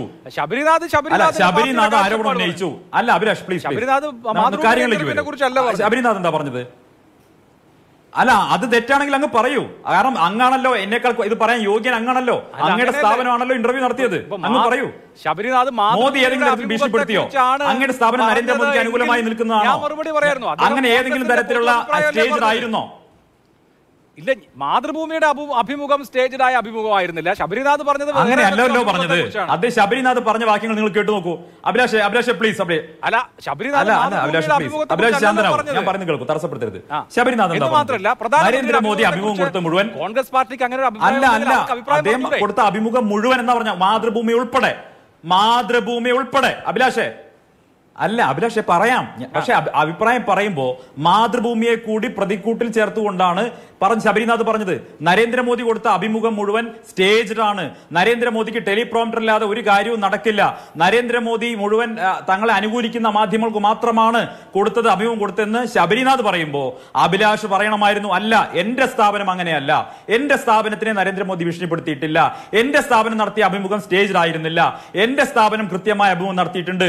ചോദ്യങ്ങൾ ചോദിച്ചിട്ടുണ്ട് മണിപ്പൂർ സംബന്ധിച്ച ചോദ്യം മാതൃഭൂമി ചോദിക്കാൻ ആർജവം കാണിച്ചിട്ടുണ്ട് എന്ന് എന്തേ അഭിലാഷം പറയാൻ പറ്റാതെ പോകുന്നു എന്തേ നിങ്ങൾക്ക് പറയാൻ പറ്റാതെ പോകുന്നു നിങ്ങൾക്ക്. നരേന്ദ്രമോദിയെ പ്രതിക്കൂട്ടിൽ നിർത്താൻ വേണ്ടി ശബരിനാഥിന്റെ ഈ ചോദ്യങ്ങളെ നിങ്ങൾ കൗണ്ടർ ചെയ്തില്ല ഇല്ലെന്ന് ഞാൻ പറയട്ടെ ഒന്ന് മാതൃഭൂമി ആണല്ലോ പറഞ്ഞത്. നിങ്ങൾ അടക്കമുള്ളവരെയല്ലേ പ്രതിയർത്തല്ലോ അല്ലല്ലോ ശബരി പറഞ്ഞു പറഞ്ഞത് കേൾക്കുന്ന ആളുകൾക്ക് മനസ്സിലാവുമല്ലോ. നിങ്ങൾ നിങ്ങളുടെ കാര്യം പറയേ. നിങ്ങൾ മറ്റുള്ളവരെ മറ്റുള്ളവരുടെ കാര്യം വിട്ടേക്ക്. മാതൃഭൂമിയുടെ അല്ല നിങ്ങൾ മറ്റുള്ളവരുടെ കാര്യം വിട്ടേക്ക്. നിങ്ങൾ അറിഞ്ഞൂടാ. മറ്റുള്ളവരുടെ കാര്യം വിട്ടേക്ക്. മാതൃഭൂമിയുടെ നിങ്ങൾ നരേന്ദ്രമോദിയോട് അഭിമുഖം മണിപ്പൂരിന്റെ ചോദ്യം ചോദിക്കരുത് എന്ന് മാതൃഭൂമിയോട് പറഞ്ഞിരുന്നോ അല്ല മാതൃഭൂമി എല്ലാ ഇന്റർവ്യൂ എടുത്തിട്ടുണ്ട്. അത് സ്റ്റേജിൽ ആയിട്ടുള്ള ഇന്റർവ്യൂ അല്ല. ഞാൻ ആദ്യമേ പറഞ്ഞല്ലോ. എനിക്ക് അത്ര മതി. ആ, എനിക്ക് അഭിലാഷ പറഞ്ഞ ആ കാര്യം മതി. അത് ഞാൻ നരേന്ദ്രമോദിയെ ന്യായീകരിക്കാൻ പ്രയാസം ഉണ്ടാവും ഞാൻ ന്യായീകരിക്കുന്നത്. അല്ല ഒരു ഒരു സെക്കൻഡ്. കാര്യം ജനങ്ങൾക്ക് വ്യക്തമായല്ലോ. മാതൃഭൂമി പോലെ.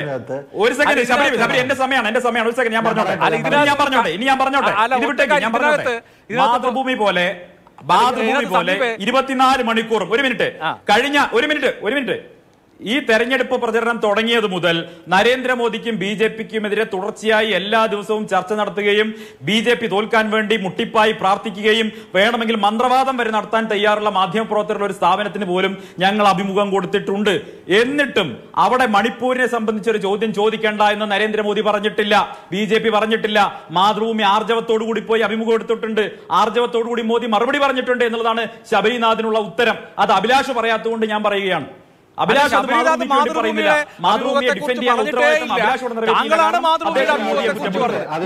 താങ്കളാണ് മാതൃഭൂമിയുടെ അഭിമുഖത്തെ പറഞ്ഞു. പറഞ്ഞു അല്ല അപ്പോ ഞാൻ പറഞ്ഞു. അദ്ദേഹം പേര് പറഞ്ഞിട്ടാണ് നവിക കുമാർ അർണാബ് ഗോസ്വാമി എന്നൊക്കെ പറഞ്ഞിട്ട് പേര് എല്ലാ. മാധ്യമങ്ങളും എന്ന് പറഞ്ഞു. അതേപോലെ അതേ എനിക്കറിയില്ല. ചോദ്യം ചോദിക്കാൻ മാതൃഭൂമിക്ക് കുഴപ്പമുണ്ടായിരുന്നോ? ആ പറ ജനങ്ങൾ കേൾക്കട്ടെ. അല്ല, എനിക്ക് അഭിലാഷ് ജനങ്ങൾ കേൾക്കട്ടെ. മണിപ്പൂരിൽ ജനങ്ങൾ ജനങ്ങൾ കേൾക്കട്ടെ. മാതൃഭൂമി പറയാം ഞാൻ പറഞ്ഞു ഞാൻ ചോ- ഒരു സെക്കൻഡ് ഒരു സെക്കൻഡ് അല്ല, ശബ്ദം. ശബരി ശബരി ശബരി. ശബരി ഒറ്റ സെക്കൻഡ് അല്ല ഞാൻ ഒരു സെക്കൻഡ് തടസ്സപ്പെടുത്തരുത്. ശബരി എന്റെ സമയം. പ്ലീസ് തടസ്സപ്പെടുത്തണ്ട. അല്ല, ശ്രീ സന്തോഷ് തുടങ്ങി തരുന്നില്ല ശബരി. ശബരി തടസ്സപ്പെടുത്തില്ല താങ്കളുടെ സമയം. ഒന്ന് ഈ ഇലക്ഷൻ- സംബന്ധിച്ച ചോദ്യം ചോദിക്കരുത് എന്ന് ബി ജെ പിയോ മോദിയോ മാതൃഭൂമിയോ പറഞ്ഞിട്ടുണ്ടോ? നിങ്ങൾ ഇല്ല. മറുപടി പറയേ. ഇല്ല, പറഞ്ഞിട്ടില്ല. ഞാൻ ഇതാണ് പറയട്ടെ. ഞാൻ പറഞ്ഞത്. ഈ വെല്ലുവിളിക്കുന്ന ആളുകൾ. രാഹുൽ ഗാന്ധി വെല്ലുവിളിച്ചു എന്നൊക്കെ പറഞ്ഞിട്ടുണ്ടല്ലോ. മാതൃഭൂമി പോ- ഇതിപ്പോ സ- സന്ദീപ് നോക്കൂ ഇപ്പൊ എല്ലാ അതായത് ഈ രാജ്യത്ത് ഇരുപത്തെട്ട് സംസ്ഥാനമുണ്ട്. അപ്പോൾ ഓരോ സംസ്ഥാനത്തെയും പ്രധാനപ്പെട്ട മാധ്യമങ്ങൾക്കല്ല ഇപ്പൊ തമിഴ് എടുത്താൽ തമിഴ് മലയാളം എടുത്താൽ മലയാളം. അങ്ങനെ ഏറ്റവും പ്രധാനപ്പെട്ട മാധ്യമ സ്ഥാപനങ്ങൾക്ക് പ്രധാനമന്ത്രി ഇന്റർവ്യൂ കൊടുത്തിട്ടുണ്ട് മാതൃഭൂമി എടുത്തിട്ടുണ്ട് ഏഷ്യാനെറ്റ് എടുത്തിട്ടുണ്ട് കേരളത്തിൽ. മറ്റ് സംസ്ഥാനങ്ങൾ മറ്റു ഭാഷകൾ അതുപോലെ നാഷണൽ നെറ്റ്വർക്ക് എല്ലാവരും എടുത്തിട്ടുണ്ട്. അതിനിപ്പോ എന്താ? ഉണ്ട് എന്റെ ചോദ്യം അതല്ല അഭിലാഷേ. ആ. അത് സ്റ്റേജിലല്ല എന്ന് ഞാൻ പറയാൻ ചോദ്യം സ്റ്റേജ് ആയിരിക്കണമെന്നോ ശബരിനാഥ് പറയുന്നത് പോലെ മോദി പറഞ്ഞിട്ടുണ്ടോ ഇല്ല അല്ല അത് ഞാൻ ആദ്യമേ പറഞ്ഞല്ലോ ഇത് നിങ്ങൾ സമ്മതിച്ചാൽ മതി എന്നേ അത് എപ്പോഴേ സമ്മതിച്ചു. മതി നിങ്ങൾ വീണെടുത്ത് കിടന്ന് ഉരുളണ്ട അല്ലല്ല ആദ്യത്തെ ആദ്യത്തെ ചോദ്യത്തിന് ഞാനത് പറഞ്ഞല്ലോ നിങ്ങൾ നിങ്ങളുടെ സ്ഥാപനത്തെ ഡിപെൻഡ് ചെയ്യൂ ആദ്യത്തെ ചോദ്യത്തിന് തന്നെ ഞാനത് പറഞ്ഞല്ലോ അങ്ങനെ അല്ല ശബരി പറഞ്ഞത് അത് നരേന്ദ്രമോദിയുടെ അഭിമുഖം മാത്രമല്ല അങ്ങനെയാണ്. ബാക്കി പറഞ്ഞോട്ടെ. ശബരി പറഞ്ഞത് തെറ്റാണെന്നും. നരേന്ദ്രമോദി ഒരു തരത്തിലും അഭിമുഖങ്ങളിൽ ഇടപെടില്ലെന്നും അല്ല ഒരു സെക്കൻഡ് ഒരു സെക്കൻഡ് ഒരു സെക്കൻഡ് ഒറ്റ സെക്കൻഡ് നരേന്ദ്രമോദി ഒരിക്കലും എട്ട് ഇരുപത്തിയാറ്. ശബരി, പെട്ടെന്ന് പെട്ടെന്ന് ഒരു മിനിറ്റ് ഒരു മിനിറ്റ് ശബരി. ആ. പെട്ടെന്ന് പെട്ടെന്ന് സന്ദീപ് ശബരിയുടെ ശബരിയുടെ ആരോപണങ്ങൾ പൂർണമായും തെറ്റാണെന്ന് തെളിയിക്കാൻ മാതൃഭൂമിക്ക് നരേന്ദ്രമോദി കൊടുത്ത ഇന്റർവ്യൂ മാത്രം മതി. ശരി ഓക്കെ. മാതൃഭൂമിയോട് ഒരു തരത്തിലുള്ള സമ്മർദ്ദവും മോദി ചെയ്തിട്ടില്ല എന്ന് ഇവിടെ അഭിലാഷ് സാക്ഷ്യപ്പെടുത്തുന്നു. ശരി, മാതൃഭൂമി സാക്ഷ്യപ്പെടുന്നു. പിന്നെ എന്താ ശബരി? എന്തിനാ നിങ്ങൾ ഒറ്റ ഇടവേള എടുത്തതിന് ശേഷം ശബരിക്ക് സമയം തരാം. ഇടവേള എടുക്കാനുള്ള സമയം അതിക്രമിച്ചു. അതുകൊണ്ടാണ്. ചർച്ച അവസാന ഘട്ടത്തിലാണ് ശ്രീ ശബരിനാഥ് താങ്കൾക്ക് പറയാനുള്ള കാര്യം. പെട്ടെന്ന് പെട്ടെന്ന്.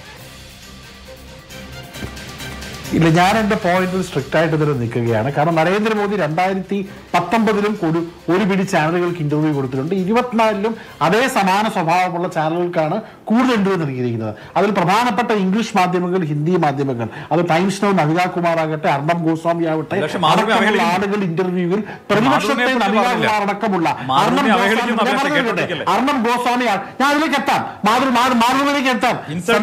അതിൽ അർണബ് ഗോസ്വാമി അടക്കം നവിക കുമാർ അടക്കമുള്ള ഇല്ല, അർണബ് ഗോസ്വാമി നവിക മോദി പൈസ തരുന്നുണ്ടോ അനുവദിക്കുന്നുണ്ടോ? ആ. പ്രതിപക്ഷത്തിനെതിരെയാണ്. കേട്ടില്ലേ? പ്രതിപക്ഷത്തിനെതിരെയുള്ള ചോദ്യങ്ങൾക്ക്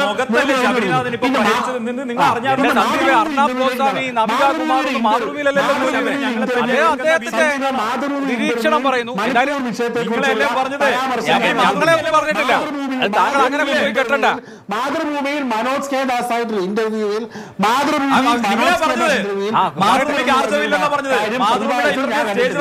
മണിപ്പൂർ എന്ന് പറഞ്ഞ വാക്ക് പ്രതിപാദിച്ചത് ഞാൻ കണ്ടിട്ടില്ല. മാതൃഭൂമിയിൽ മനോജ് കെ ദാസ് ഇന്റർവ്യൂവിൽ മണിപ്പൂർ എന്നുള്ള വാക്ക് ആ, ഇന്റർവ്യൂവിൽ. കണ്ടിട്ടില്ല. ഞാൻ എന്തുകൊണ്ട് ചോദിച്ചില്ല? ഞാൻ പറഞ്ഞല്ലോ. മണിപ്പൂർ എല്ലാ പ്രധാനപ്പെട്ട മാധ്യമങ്ങൾക്കും നരേന്ദ്രമോദി.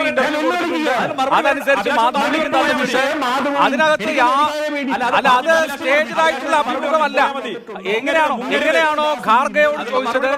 എങ്ങനെയാണോ ഖാർഗയോട് ചോദിച്ചത്? അതുപോലെ തന്നെയാണ് മോദിയോടും ചോദിച്ചത്.